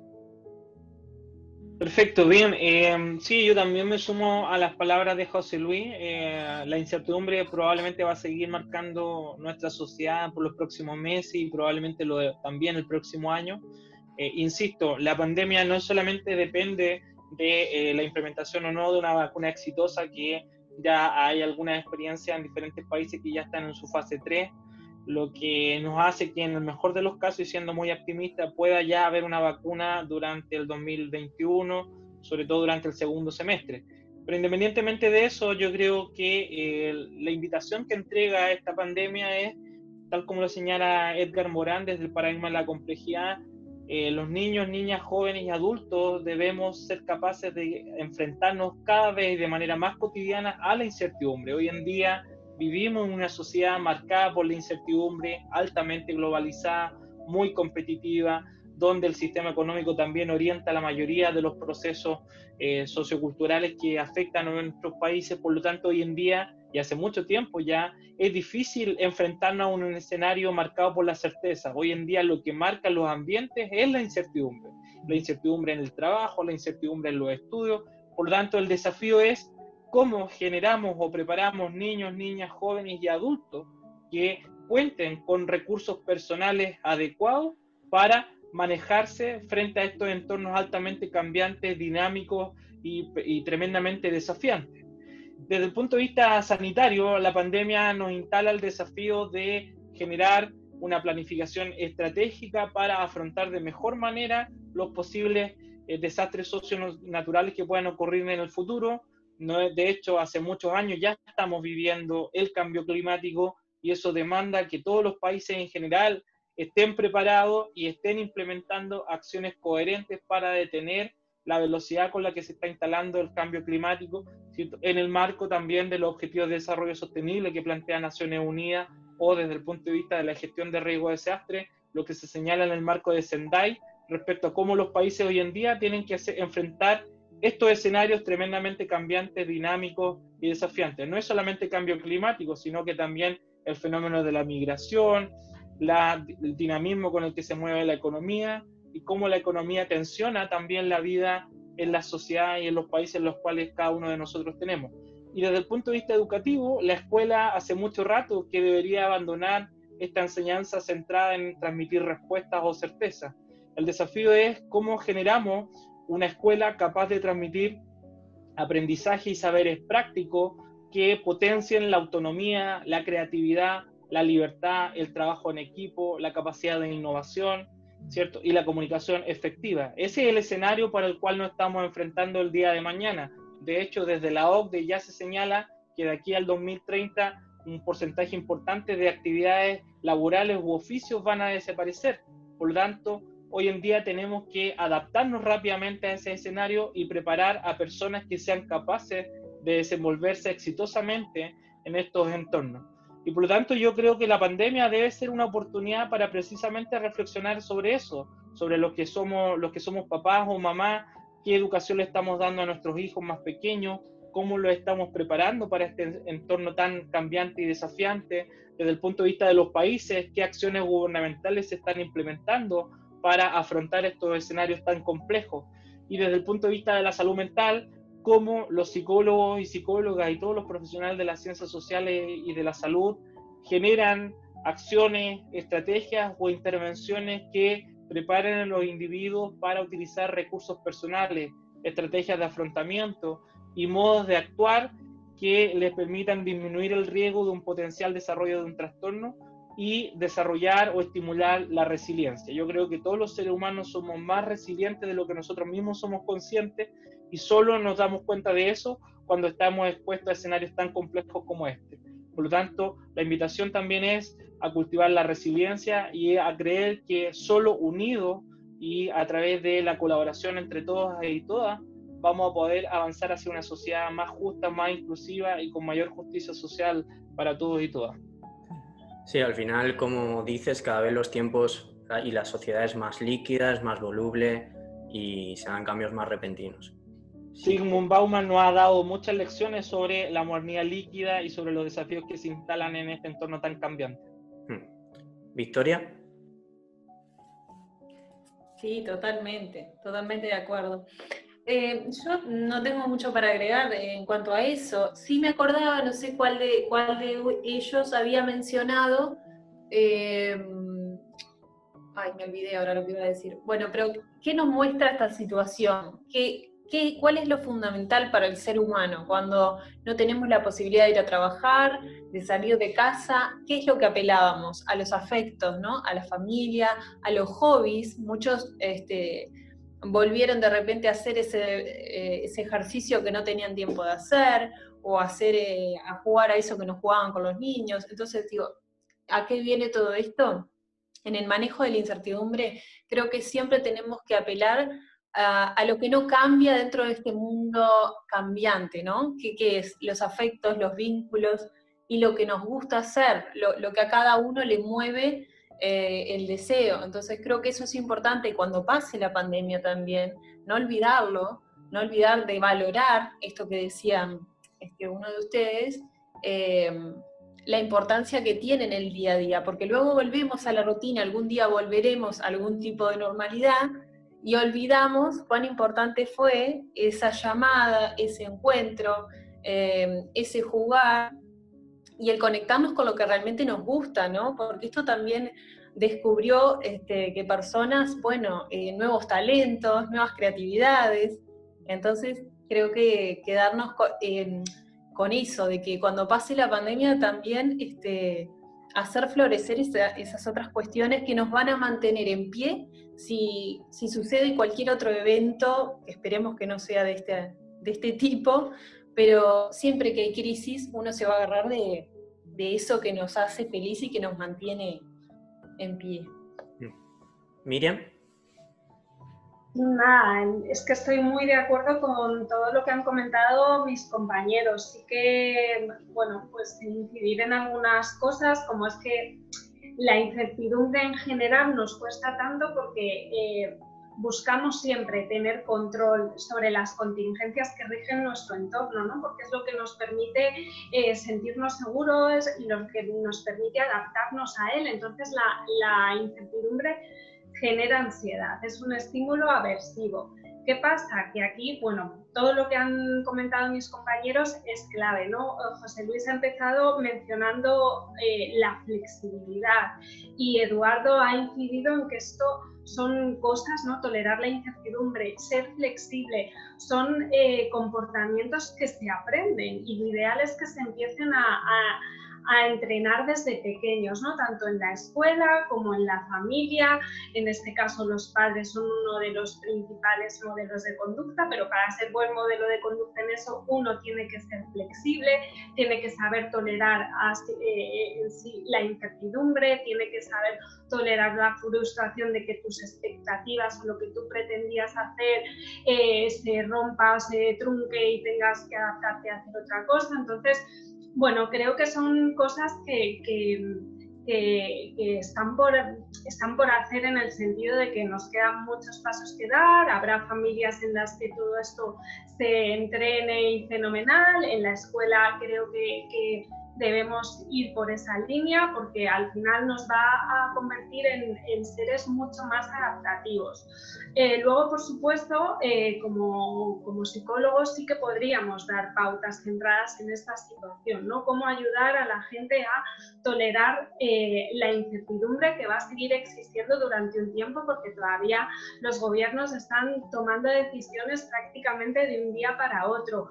Entonces, bueno, ¿qué cosas eh, se pueden hacer ya más a título individual? Pues muchas veces la incertidumbre se manifiesta en forma de pensamientos, ¿no? Pensamientos anticipatorios, pues igual pasa tal o qué voy a hacer si pasa tal. Esos pensamientos muchas veces son generadores de malestar eh, y sobre todo que, que versan sobre cosas sobre las que no tenemos el control. Entonces, pues ahí, por ejemplo, los psicólogos podríamos dar pautas como eh, intenta no eh, centrar toda tu atención en pensar en cosas que no puedes controlar a día de hoy. Eh, si algo te preocupa, mira a ver si es algo que atañe al momento actual y si es algo está en tu control solucionarlo. Si es así, búscale solución e intenta aparcar el pensamiento.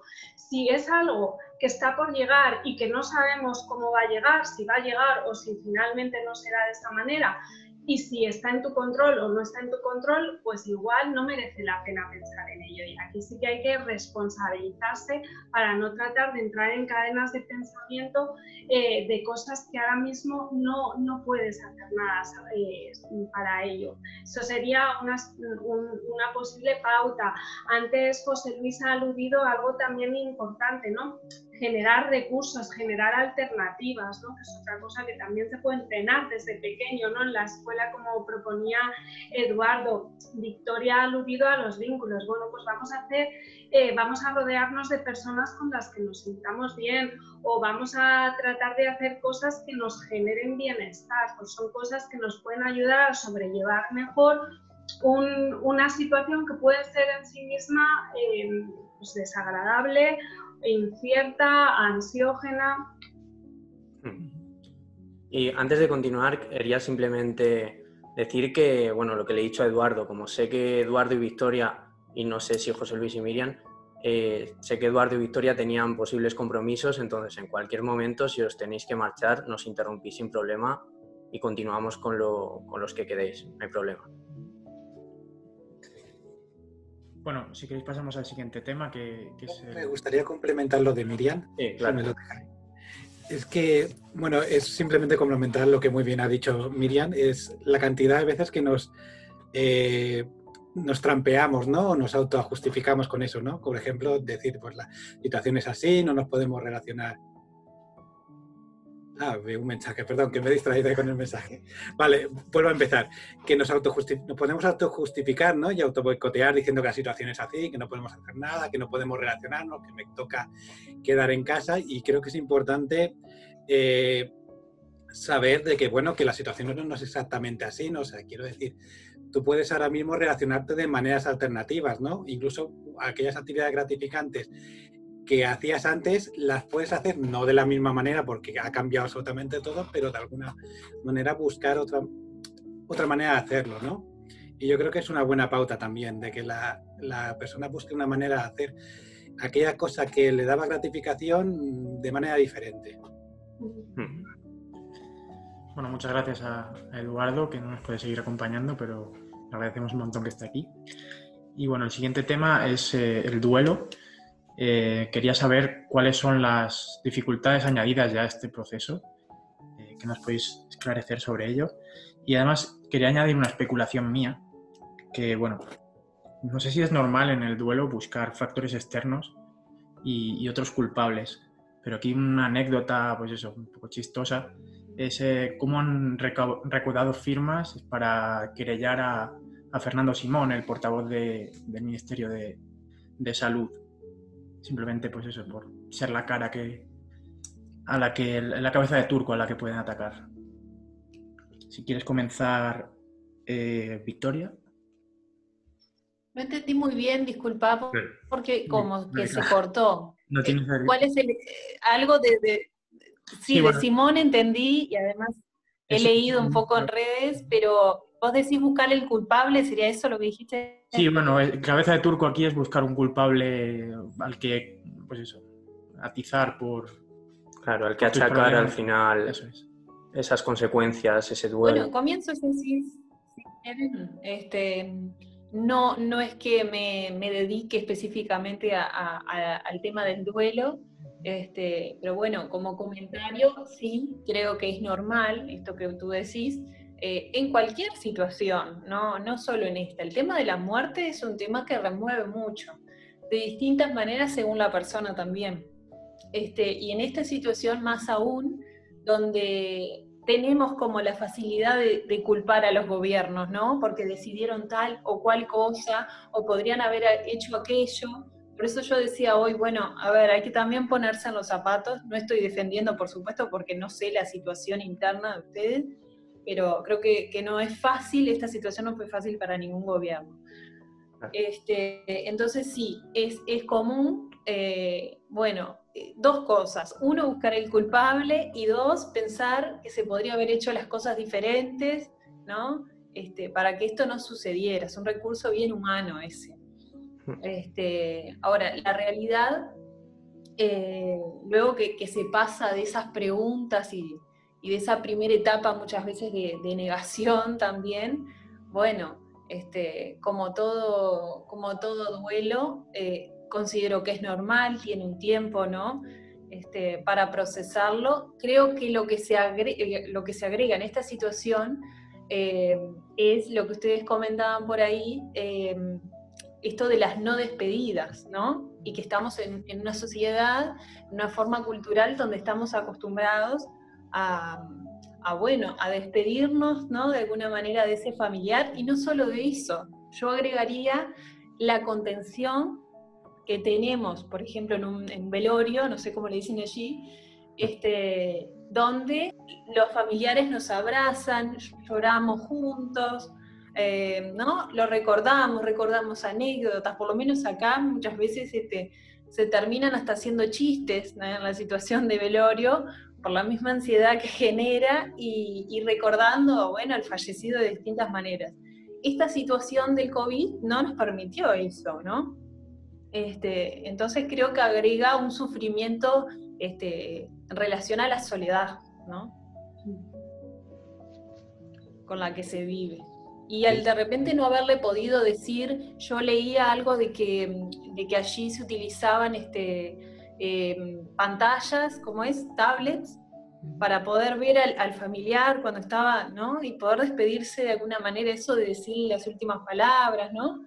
Mm. Este, es muy duro, es muy duro. Hmm. Nada más que eso para decir. Eh, Miriam. Sí, yo creo que, en relación al duelo, variables en las que ha afectado estas situaciones, en cosas que, que, influyen en cómo uno vive una pérdida, como son el que has podido perder a gente sin Em, de forma muy fortuita, de forma muy repentina, sin haberte hecho a la idea de ello, como puede ser a lo mejor en otras enfermedades que tienen un proceso y que tú sabes cómo van a terminar y te vas preparando y entonces el dolor de la pérdida es más leve que cuando eh, pierdes a alguien que no te esperas y de la noche a la mañana prácticamente. Y además sin haber podido hacer un acompañamiento durante esos últimos momentos, eh, con la incertidumbre de cómo se ha ido, cómo lo habrá pasado, cómo le habrán cuidado y sin haber podido hacer ese cierre, esa despedida, que también ayuda a poner punto y final y a iniciar el duelo, o sea, a tomar conciencia de que la persona em, pues se ha ido y ya no va a estar. Entonces son variables que han dificultado el proceso de pérdida. Dentro de que toda pérdida es dolorosa, pues añaden quizá más dolor o más dificultad a hacer ese, ese proceso. Hmm. José Luis. Bueno, simplemente Uy, tanto que explicar de esto, no sé por dónde empezar. Bueno, primero lo de eh, la explicación de culpabilidad. Creo que en el duelo es necesario, es una necesidad muy humana de buscar una explicación, ¿no? De por qué ha pasado algo y sobre todo para que no se vuelva a repetir, ¿no? Y, habrá gente que diga, no, pues la conclusión que saque es de, bueno, pues habrá sido Fernando Simón, que lo ha hecho muy mal, o el gobierno, o incluso eh, lo peor que puede pasar, ¿no? Que es uno mismo, ¿no? Eh, seguro que nos encontraremos en terapia, si no, no lo hemos encontrado ya, gente que se siente culpable porque en su momento decidió a su abuela o su abuela ponerle una residencia, ¿no? Y está dándole vuelta a decir, ostras, pero ¿cómo puede ser esto? Lo, he matado yo porque realmente se piensa en las cosas, ¿no? Cuando pasa eso. Y, y, eso es algo que tenemos que ayudar los psicoterapeutas o a veces la propia persona o los, los, los amigos y la familia le ayudan, ¿no? Es decir, bueno, pues si a alguien le pasa, pues a veces puede ser de, ayuda, pues examinar el momento en que lo decidiste, ¿no? Porque a lo mejor en aquel momento que lo decidiste era los eh, tus hermanos y hermanas no querían participar, o no había otra manera, o era tan dependiente que era la única manera de que tuviera un apoyo a las 24 horas, ¿no? Eso, una cosa, ¿no? Y, luego lo otro es eh, estos duelos eh, así a través de tablet y tal, y a veces no ver el, fallecido, pues una de las cosas más importantes es eh, aceptar la realidad de la pérdida, ¿no? En un duelo. Y eso es muy importante porque cuando alguien fallece muchas veces nos quedamos en la situación esta de incredulidad, ¿no? No me creo que haya fallecido, ¿no? No puede ser verdad, ¿no? Claro, el, verlo así desde lejos, ¿no? Porque no todo el mundo ha podido participar en el, duelo, nos dificulta mucho esto, ¿no? Parece como, como si fuera un mal sueño, ¿no? Una pesadilla, ¿no? Como, hmm. como si no fuera a ser verdad. Y de hecho yo creo que muchos de nosotros nos pasará, ¿no? Que luego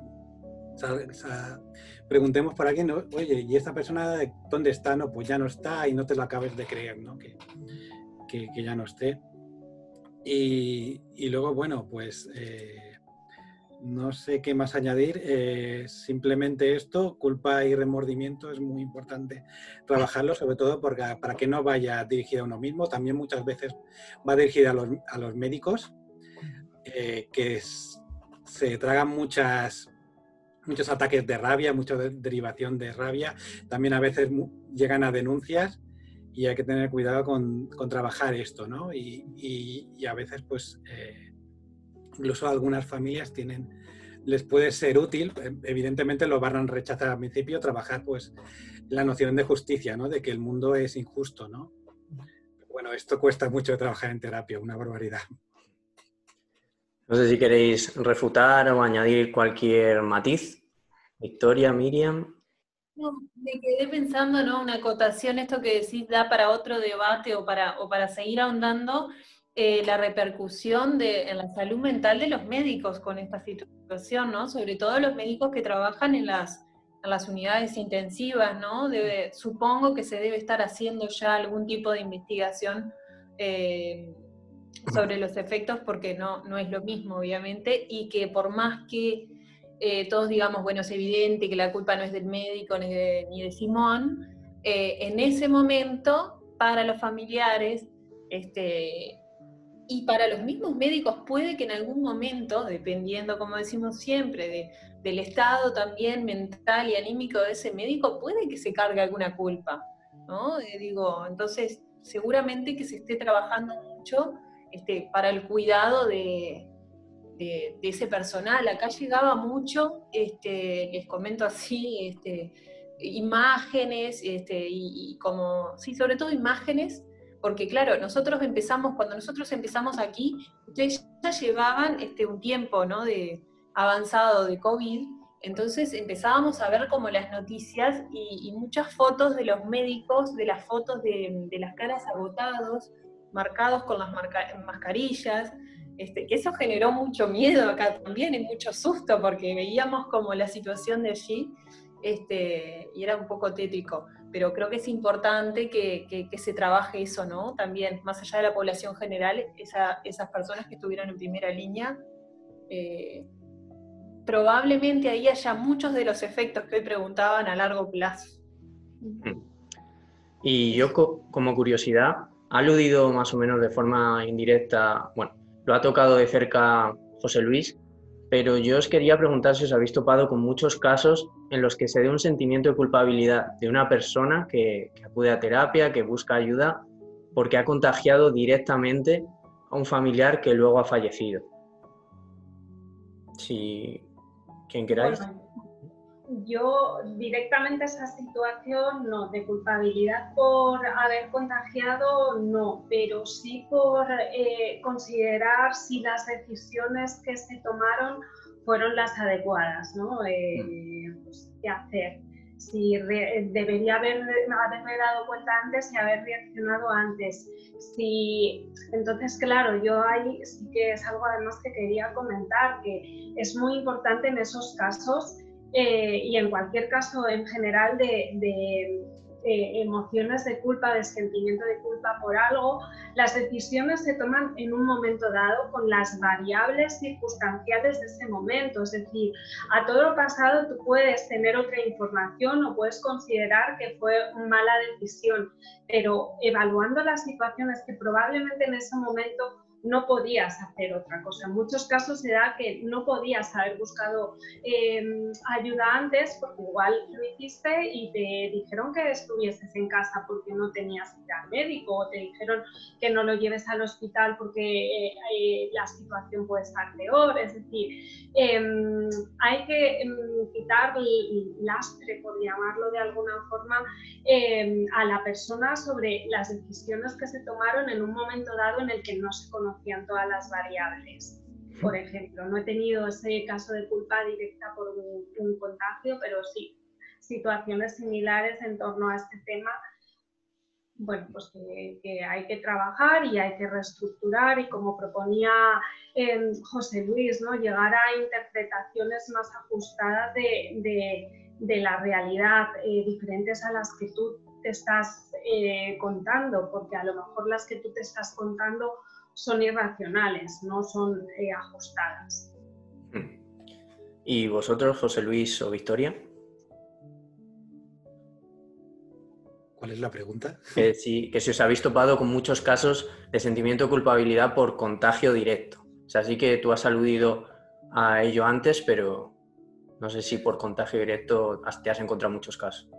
No, no, con esto no, pero antes sí que me encontrado con varios casos de cuando ha habido un cáncer, por ejemplo, y ha habido un diagnóstico tardío, ¿no? Que mucha gente se puede sentir culpable por, incluso reproches de otros familiares, de, tías y primas, de, haberles dicho incluso en la cara, decir, bueno, es que si lo hubieras obligado a ir al médico antes, se hubiera salvado, ¿no? Esto me lo he visto. Y esto ha destruido familias completamente. Eso sí. Hmm. ¿Y tú, Victoria? No, yo en mi caso tampoco, directo no. Sí, un poco lo que decía Miriam, por ejemplo, eh, personas que consultaban o que, bueno, que traían a la consulta el hecho de, por ejemplo, tener un abuelo, ¿no? O un padre muy mayor, y ya te digo, ahora la situación cambió, nosotros ya estamos en, una cierta normalidad, entre comillas, digamos, este, no estamos en confinamiento. Hmm. Eh, pero en, su momento era esto de, ¿qué hago? Voy a ver a mi abuela, este, la veo por la ventana, la saludo, este, con la llamada como que no bastaba, vuelvo a lo mismo, ¿no? Como que estas personas a veces, eh, esa, alegría que, les da de esa visita es, es, una gran cosa. Entonces, un poco venía por ese lado, de qué decisiones tomar, este, para no, me acuerdo de una muchacha que me decía, me muero si por ir a, verla un rato, este, por, esto del, ¿cómo se llama? De lo asintomático, ¿no? Porque digo, podía estar este, contagiada, la muchacha no tener síntomas, este, y si, voy y la contagio, ¿no? Estaba eso, ese, mm. ese miedo. Y el siguiente bloque es acerca de la irresponsabilidad y la falta de empatía. Porque por lo menos aquí. Dime, dime. Perdón, perdón, casi te he interrumpido. No, no hay problema. a, Victoria dos cosillas y tal. bueno, y también a Miriam, también, eh, bueno, y a vosotros. Eh, dos cosillas. uno, lo de los médicos que ha, dejado ella, eh, Victoria, en el aire, ¿no?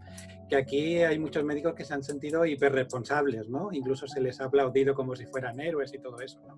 Hmm. Y que hay muchos médicos que están con la culpa, ¿no? De no haber podido salvar a todo el mundo, ¿no? O haber, no haber podido salvar a, a tanta gente, ¿no? Como era bueno, en su mente era posible, ¿no? Y, y luego, eh, lo otro que quería comentar, ostras, se me acaba de, la, de la cabeza. Bueno, luego os lo digo, que se me acaba de ir. Vale, no te preocupes, cuando te vuelvas. Pues vamos avanzando y si te acuerdas en algún momento nos lo comentas y sin problema. El siguiente bloque es acerca de la irresponsabilidad y la falta de empatía que por lo menos aquí en España se ha podido ver a medida que avanzaba el tiempo. bueno, en determinados momentos eh, se ha acrecentado más, se ha acrecentado menos. Hemos visto como gente a la que quizá le tocaba menos de cerca el tema del virus, quizá personas más jóvenes, pues, no lo, bueno, personas más jóvenes o, no tan jóvenes, eh, iban a los supermercados, a lo mejor no utilizaban los geles que allí disponían, o se ponían mal la mascarilla, o incluso no la utilizaban. Y el caso es cómo podemos tratar de concienciar a ese tipo de personas mm, de, de este tipo de responsabilidades. Es decir, cómo convencerlas al final de que el beneficio común, el bien a largo plazo, ha de priorizarse a ese placer más efímero, más inmediato. ¿Cómo hacer eso? Y eh, si quieres comenzar tú, José Luis, y si, si, te has acordado del otro, lo añades. Sí, lo añado ahora mismo porque tiene más que ver con esto que con lo otro. Eh, una cosa que quería comentar es que eh, nos han fallado las fuentes oficiales ¿no? en, en todo esto, ¿no? Y yo creo que es muy importante que la gente, eh, nosotros incluidos, pues nosotros estamos en medio del, meollo, evidentemente, que encontremos fuentes eh, fiables y que nos den información más o menos fidedigna, ¿no? Y a partir de ahí tomar decisiones y ajustar nuestra conducta. Hmm. Eh, creo que ahora mismo hay mucha duda y hay gente que está ajustando su conducta a diferentes criterios, ¿no? Por ejemplo, hoy leía en las redes sociales que estaba en, duda lo, de los gotículos. Pero claro, era una fuente que en principio era científica, pero la, la adoptas o no, ¿no? Y también lo de lavarse las manos, ¿no? ¿Hay transmisión por tacto? No, también está, muy, está en duda, ¿no? Porque no se entendió. ¿Dudar de qué? De si la, el COVID se transmite a través del tacto, de tocar eh, ah. eh, cosas infectadas por el COVID o se transmite a través de gotículas, ¿no? de partículas de saliva y todo esto. Entonces, claro, eh, es muy difícil tomar decisiones cuando te van cambiando los criterios continuamente, ¿no? que es parte del, problema. ¿no? Y además de, de, una hora, de un día a otro, ¿no? es algo bárbaro. ¿no? Y lo de la empatía, pues también hay que tener en cuenta de que, bueno, que hay gente que hace lo, lo que puede y pues es fácil que una persona que que lleva tres horas sin fumar, pues se la saque para fumar, ¿no? Porque tiene el deseo de fumar, ¿no? O un trabajador que lleva ahí todo el día con la mascarilla, pues se la saque, ¿no? Creo que también es un poco peligroso este hincapié que han, que han hecho de que somos responsables nosotros de la pandemia, ¿no? Y nos ha vuelto un poco vigilantes, ¿no? De los demás, incluso eh, censurando, ¿no? Hmm. Creo que esto también es importante. Y también una cosa que he echado en, falta de, la gestión de la, pandemia es todo lo que es intervenciones más en microambiente, ¿no? Eh, por ejemplo, mejorar la, ventilación de los, de los colegios, de los institutos, es mucho más fácil que tener a la gente separada y obligar a los niños con mascarilla, ¿no? Son cosas que se han quedado un poco perdidas. Pues Miriam. Bueno, yo sobre el seguimiento de, conductas de prevención, em, sí que, mm, bueno, me gustaría mm, al final eh, poner sobre la mesa que se trata de, conductas que no forman parte de nuestro repertorio habitual, ir con mascarilla, y lavarse muchas veces las manos eh, al día, eh, no tener contacto, guardar distancias, o sea, son cosas que no estábamos acostumbrados a hacer, con lo cual hacerlas, incorporarlas a nuestro repertorio, nuestra forma habitual de estar, por lo menos de momento, implica un coste. Esto quiere decir que hay muchas personas que se van a seguir moviendo por las contingencias inmediatas, que son los principales mantenedores de una conducta. Y si eh, llevar la mascarilla me genera más esfuerzo que ir libremente sin ella y no tengo percepción de ese riesgo, no estoy en contacto con ese riesgo ni he padecido cerca las consecuencias del de, COVID, pues igual me tomo la, libertad de ir sin mascarilla. Entonces aquí se juntan varias cosas. Se junta por un lado que em, al menos durante un tiempo, ¿no? cuando iniciamos la desescalada, dejamos de tener contacto de forma tan, tan intensa con, con, el estímulo aversivo, ¿no? Con hay no sé cuántas muertes al día, hay peligro, no, nos empezamos a confiar, empezamos a recuperar libertades y en esa recuperación de libertades posiblemente perdemos, perdimos de vista eh, que, no salíamos de la pandemia, que salíamos con la pandemia, es decir, tenemos que aprender a convivir con, un, eh, con una amenaza que está ahí. Y bueno, no me gusta mucho llamarlo amenaza porque, porque bueno, eh, lo es eh, mm, en la medida en que no se toman precauciones, porque hay precauciones que nos pueden que nos pueden mantener seguros de esa amenaza y es cierto que habrá personas para las que sí que implica un riesgo y otras personas que lo pasarán o lo pasaremos levemente. Entonces, ¿qué, pasa con esto? Pues que, por un lado, eh, para seguir una conducta y para realizarla, primero tienen que estar claras las indicaciones. O sea, tenemos que saber qué es lo que tenemos que hacer, como decía José Luis. Y muchas veces, o no siempre, esas indicaciones eh, no han estado del todo claras. Entonces, la, la instrucción eh, sería uno de los componentes, ¿no? la antecedente de, la conducta que nos eh, haría más fácil realizarla adecuadamente. Y luego están las consecuencias. Aquí es donde nos encontramos el principal problema y es que son conductas a corto plazo costosas. Entonces hay que eh, potenciar lo que se llama eh, pues autocontrol, pero esto no se desarrolla de la noche a la mañana, esto es algo que, hay que cultivar desde, desde pequeños, ¿no?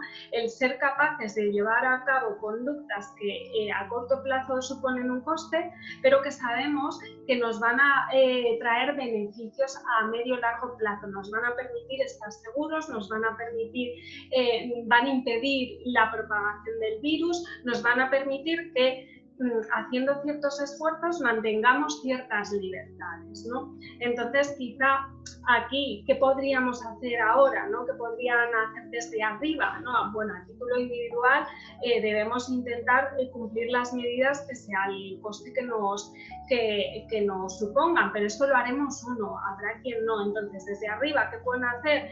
Pues eh, dar instrucciones claras de qué podemos hacer, de qué no.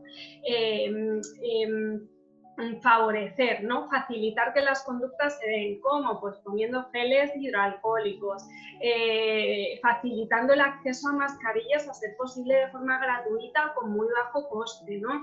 Eh, cosas que algunas de estas medidas sí que se han implementado, pero obviamente no es la panacea, porque no basta con saber qué hay que hacer para hacerlo, no basta con tenerlo fácil para hacerlo, todo eso facilita.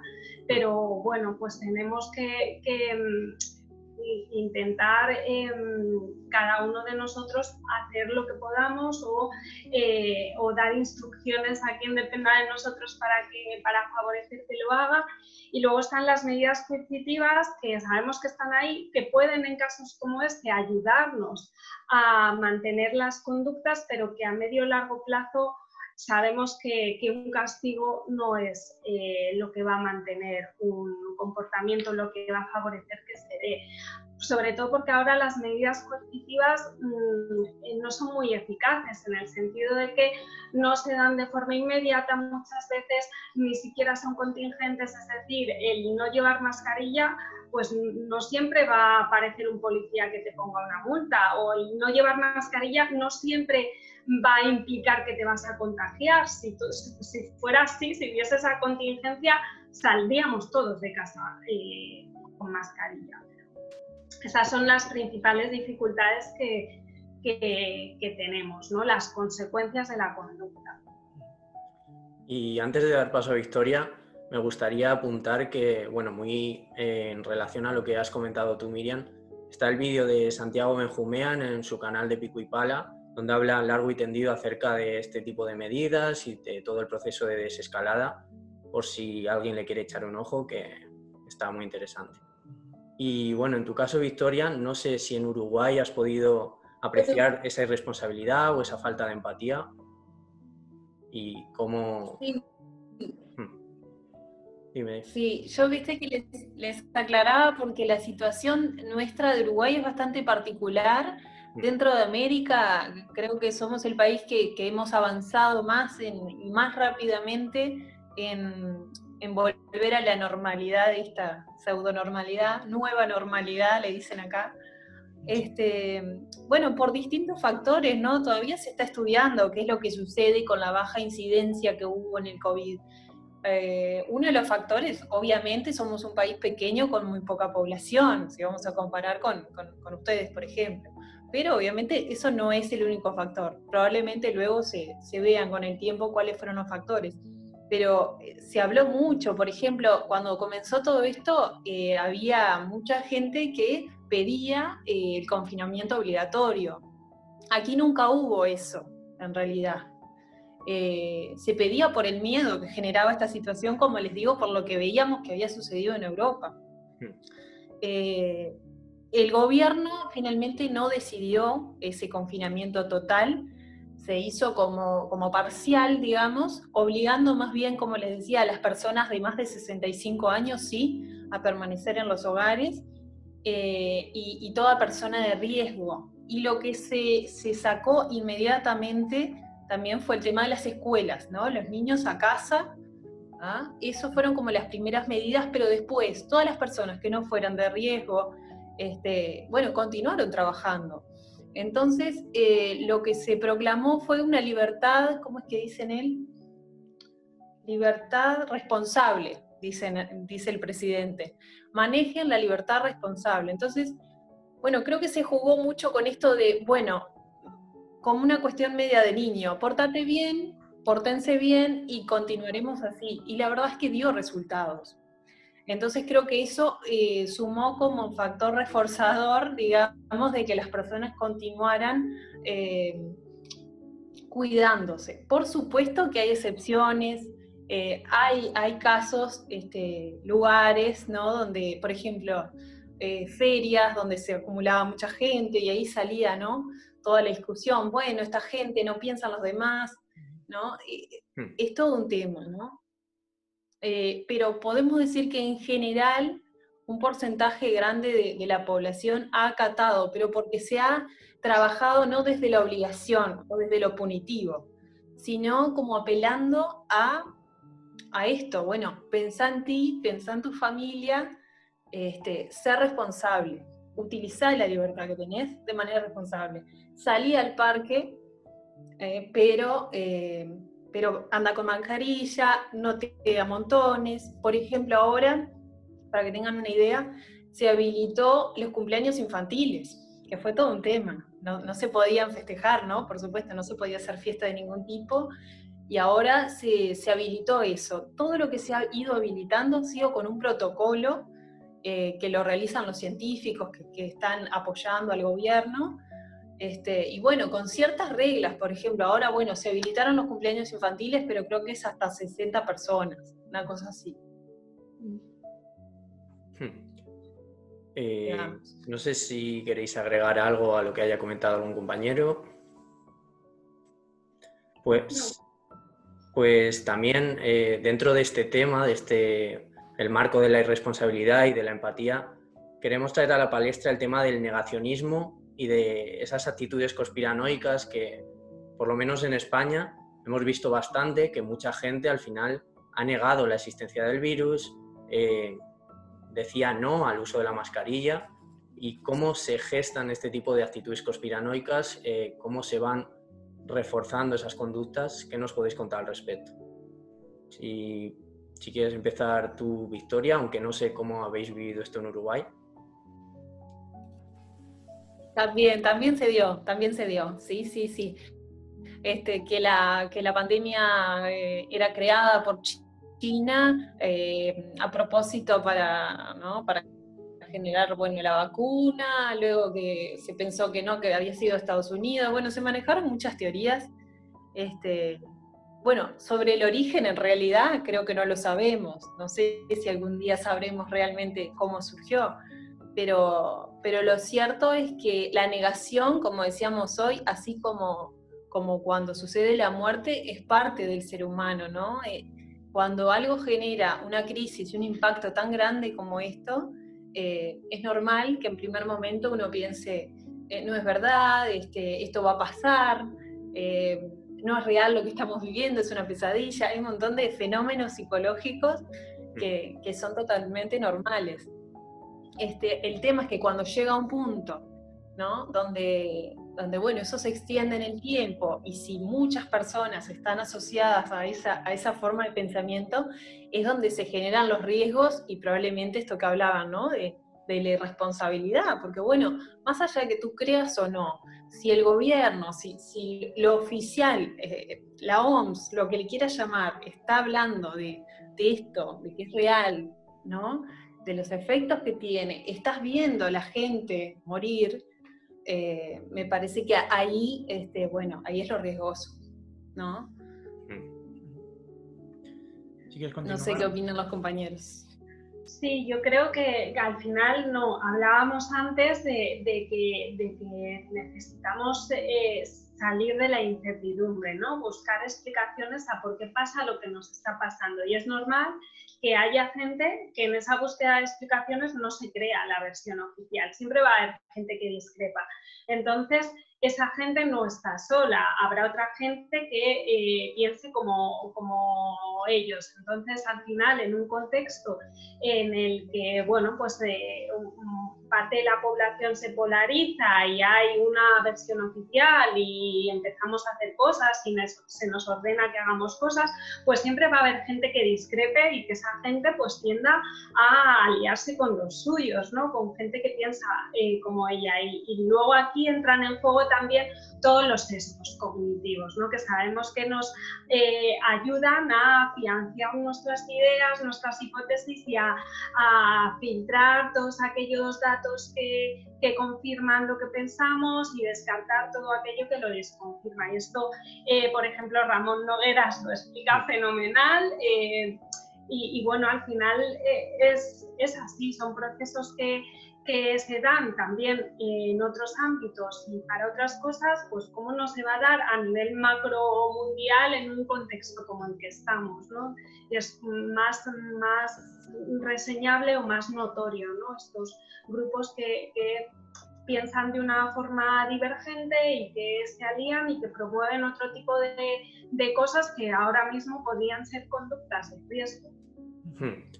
Sí, como decías, hemos visto a Ramón Nogueras hablar acerca de todo esto, del negacionismo y demás en muchos medios, que además aquí en España, que por lo menos yo tengo la impresión de que estamos muy acostumbrados a que los psicólogos más mediáticos, esa psicología más mediática, en muchas ocasiones se reduzca a decir psicopiedades, cosas de sentido común, pues sí queda a gusto que psicólogos como Ramón Nogueras salgan de vez en cuando a, a decir cosas que de verdad tienen un poco de sentido.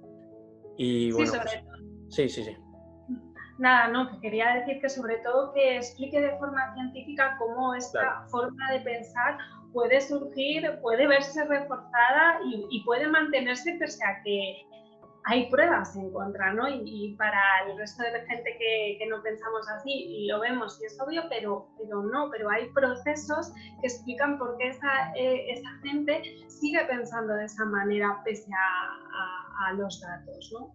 Hmm. José Luis. No mucho más decir. Bueno, para algunas personas era más fácil eh, hacer una explicación de que hay un plan que nos ha puesto en este peligro que admitir que el gobierno ha metido la pata. Esa es una manera también que mucha gente lo eh, reduce la incertidumbre. Y luego todos los sesgos y todo lo demás que ha explicado Miriam y todo lo que ha explicado Victoria. Hmm. Puede ser por tantos motivos. Pues si queréis pasamos al, último tema ya, que venía a ser la reivindicación del papel de la psicología en, pues en este tema. A Eduardo seguramente le hubiese gustado mucho hacerlo, pero bueno, eh, a nuestro parecer, la psicología es clave en la situación que hemos vivido y, bueno, Aquí en España se abrieron líneas telefónicas, también como allí, gratuitas para el personal sanitario, a quienes, pues eso, les tocó vivir una película de terror. Pero podría haberse llegado más allá. El análisis que nos habéis dejado hoy es maravilloso y además muy necesario. Y quería preguntaros si opináis que, que podría influir beneficiosamente, incluso en las decisiones políticas, el tener en cuenta a los psicólogos.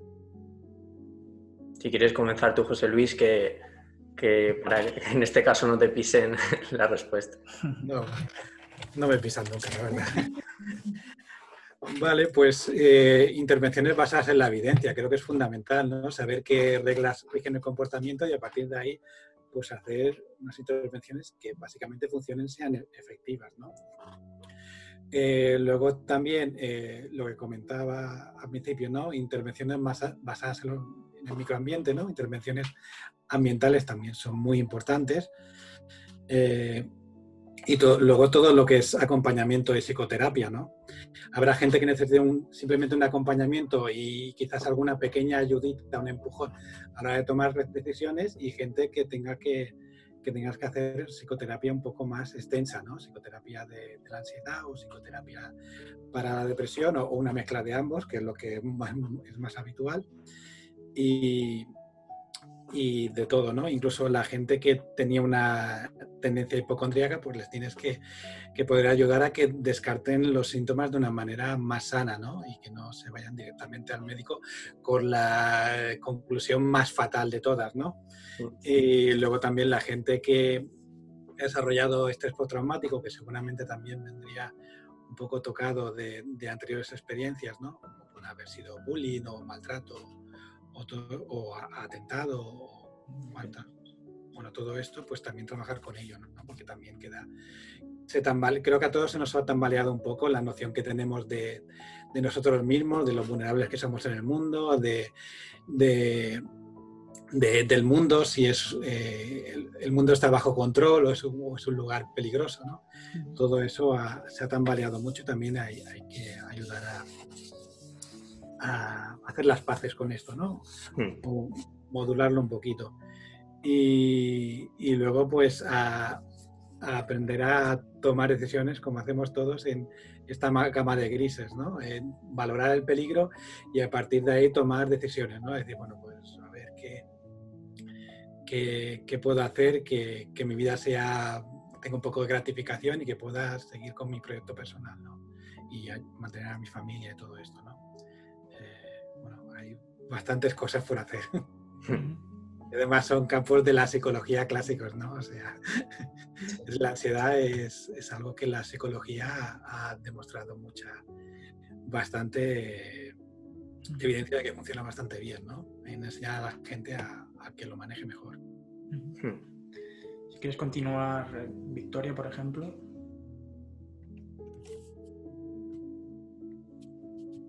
Sí, no, no sé si nos has... No que si, quieres continuar. ¿Sigo yo? Bueno, sí. es que se entrecorta de rato. Este, tú preguntabas qué, podemos hacer, qué rol tenemos en todo esto. Sí, o si crees que debería haber más participación de la psicología pues, en labores políticas como... Sí, por supuesto. Mm como decía hoy Eduardo, siempre, siempre nos quedamos cortos. Eh, yo no sé cómo es ahí, pero acá eh, eso, siempre la psicología eh, es el último, decimos acá, el último orejón del tarro. Es cuando, mismo en situaciones normales, ¿no? se envía, se deriva al psicólogo cuando el médico ya no encuentra más nada, ¿no? Cuando ya no le encuentra solución, entonces vaya al psicólogo a ver si encuentra algo, ¿no? Entonces, en esto también sucede lo mismo, más allá de esta línea telefónica que yo les comentaba, este, bueno, deberían haberse generado otros recursos, ¿no? Porque no basta con eso.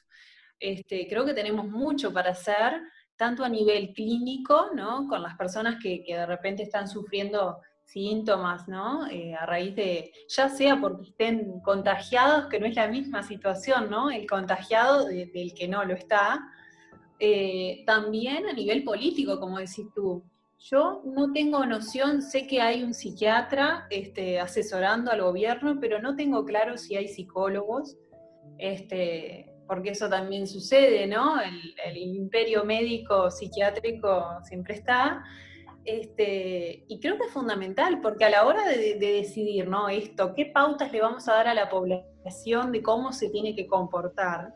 ¿No? Tenemos que estudiar cómo se comporta eh, esa población, ¿no? Eh, acorde con el contexto, como dijimos al principio, de cada país y de cada población pero creo que es fundamental para asesorar a, los gobiernos de, qué medidas son mejores, cómo va a reaccionar mejor la gente, cómo gestionar todo el, tema este del aislamiento, los efectos posibles que iba a generar o que va a seguir generando.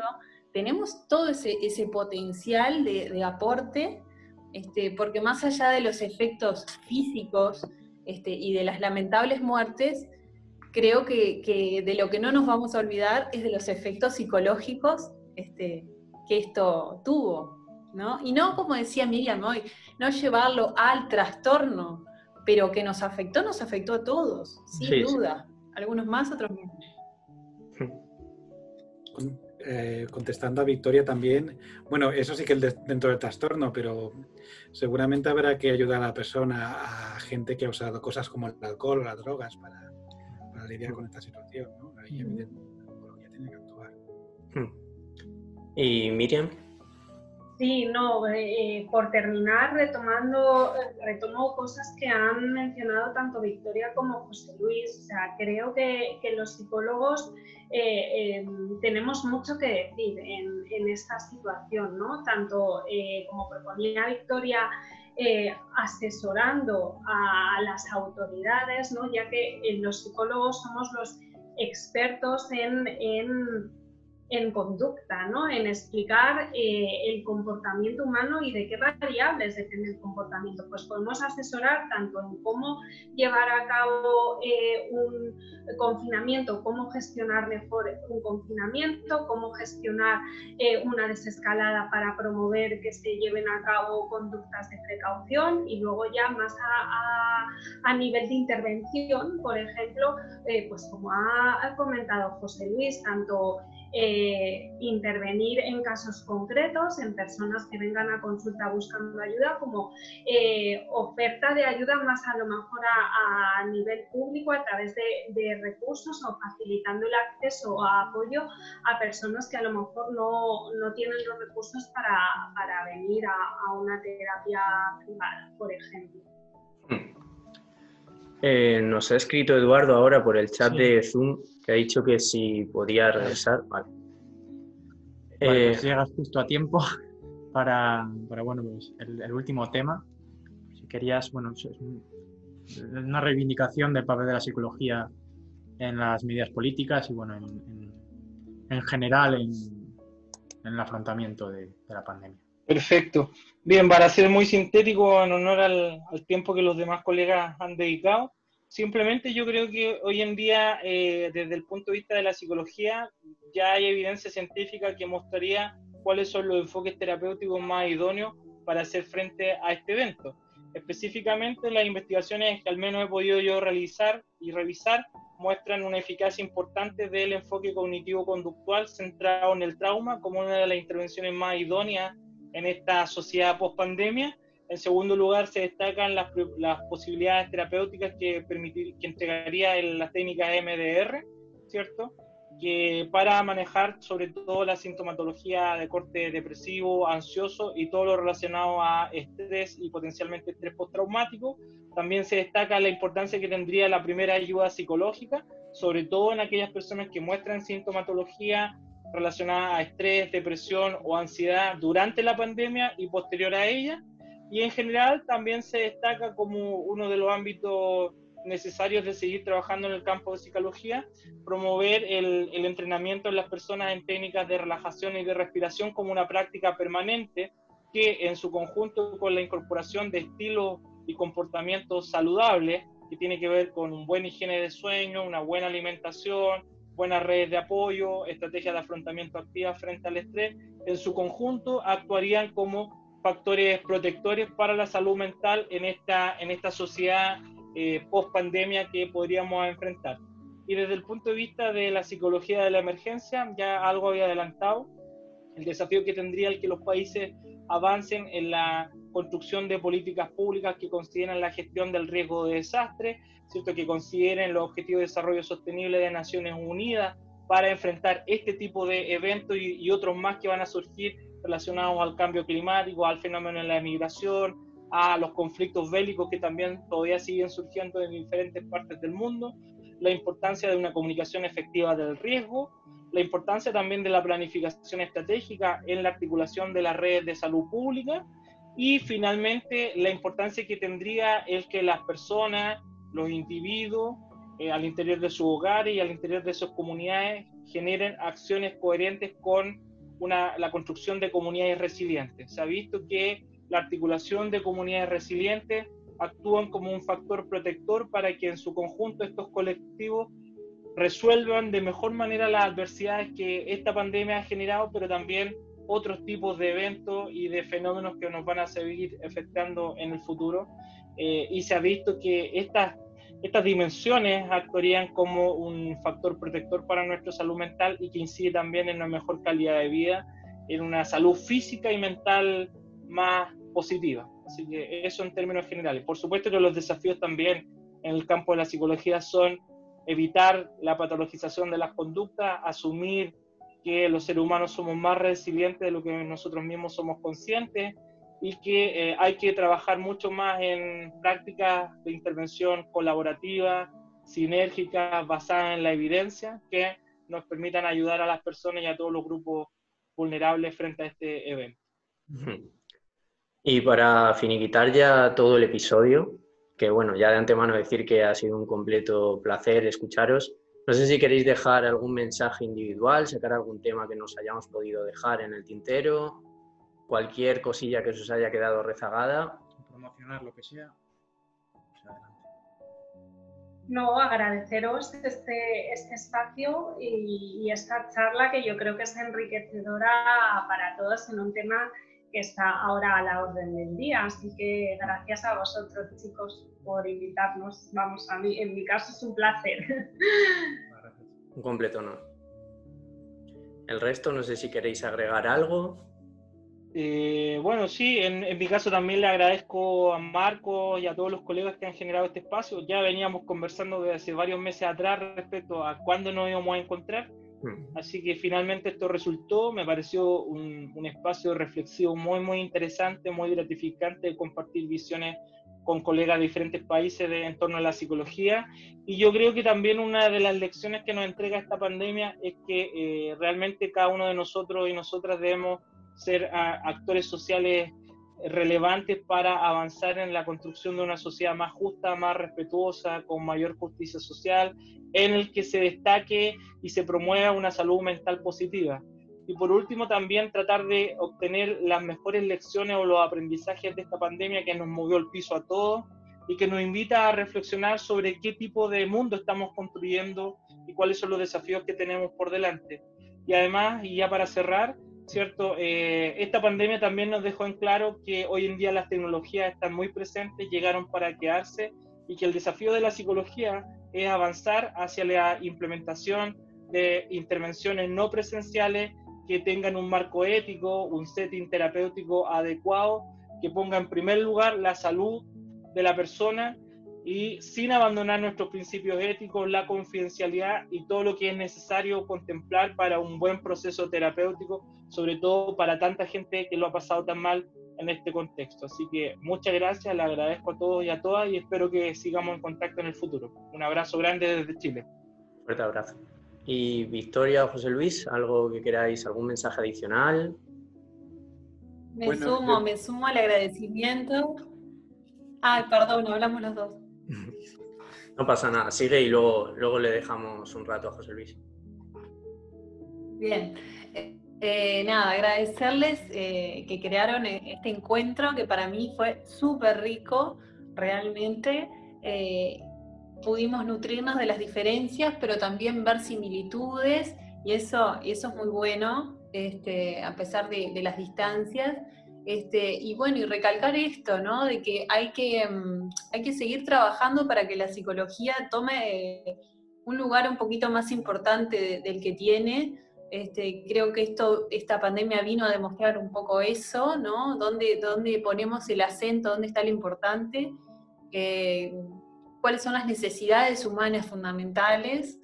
Eh, y bueno, y esto que decía también Eduardo, cómo también nosotros tuvimos que flexibilizarnos este, en nuestro trabajo para, para, poder poner en primer lugar las necesidades de, de las personas. ¿no? Así que nada, agradecer un espacio más de reflexión y sí, sigamos en contacto, por favor. Un beso. Muchas gracias. Bueno, decir que yo personalmente lo he disfrutado mucho, que ha sido un honor ahí. Incluso, además, veros cara a cara, porque a muchos os conozco de Instagram y solo he visto una foto por ahí pequeñita. y me lo he pasado muy bien. Espero que, que me volváis a invitar, porque quiero volver. Y, y nada, gracias a todos y todas. Nada, pues lo dicho, una completa maravilla, un gusto poder eh, compartir un rato con vosotros para al final gente como nosotros que somos alumnos aún, que estamos formándonos, un completo gusto y mil gracias por estar todo este rato con nosotros. A vosotros. Gracias. Hasta luego. Saludos. Hasta luego. Abrazos. Para los que habéis llegado hasta aquí, Simplemente gracias. Poco a poco tratamos de mejorar el contenido y sinceramente en este programa quedamos realmente satisfechos. Es un lujo tener invitados como los de hoy y bueno, poder compartir con ellos un debate tan interesante y candente. Agradecer de corazón a Victoria, Miriam, José Luis y por supuesto Eduardo. Digo por supuesto porque llevamos bastante tiempo conversando para que participaran en el podcast. Y nada, sin más, podéis ir en paz y en armonía por este mudado piso que desliza. Chao, chao.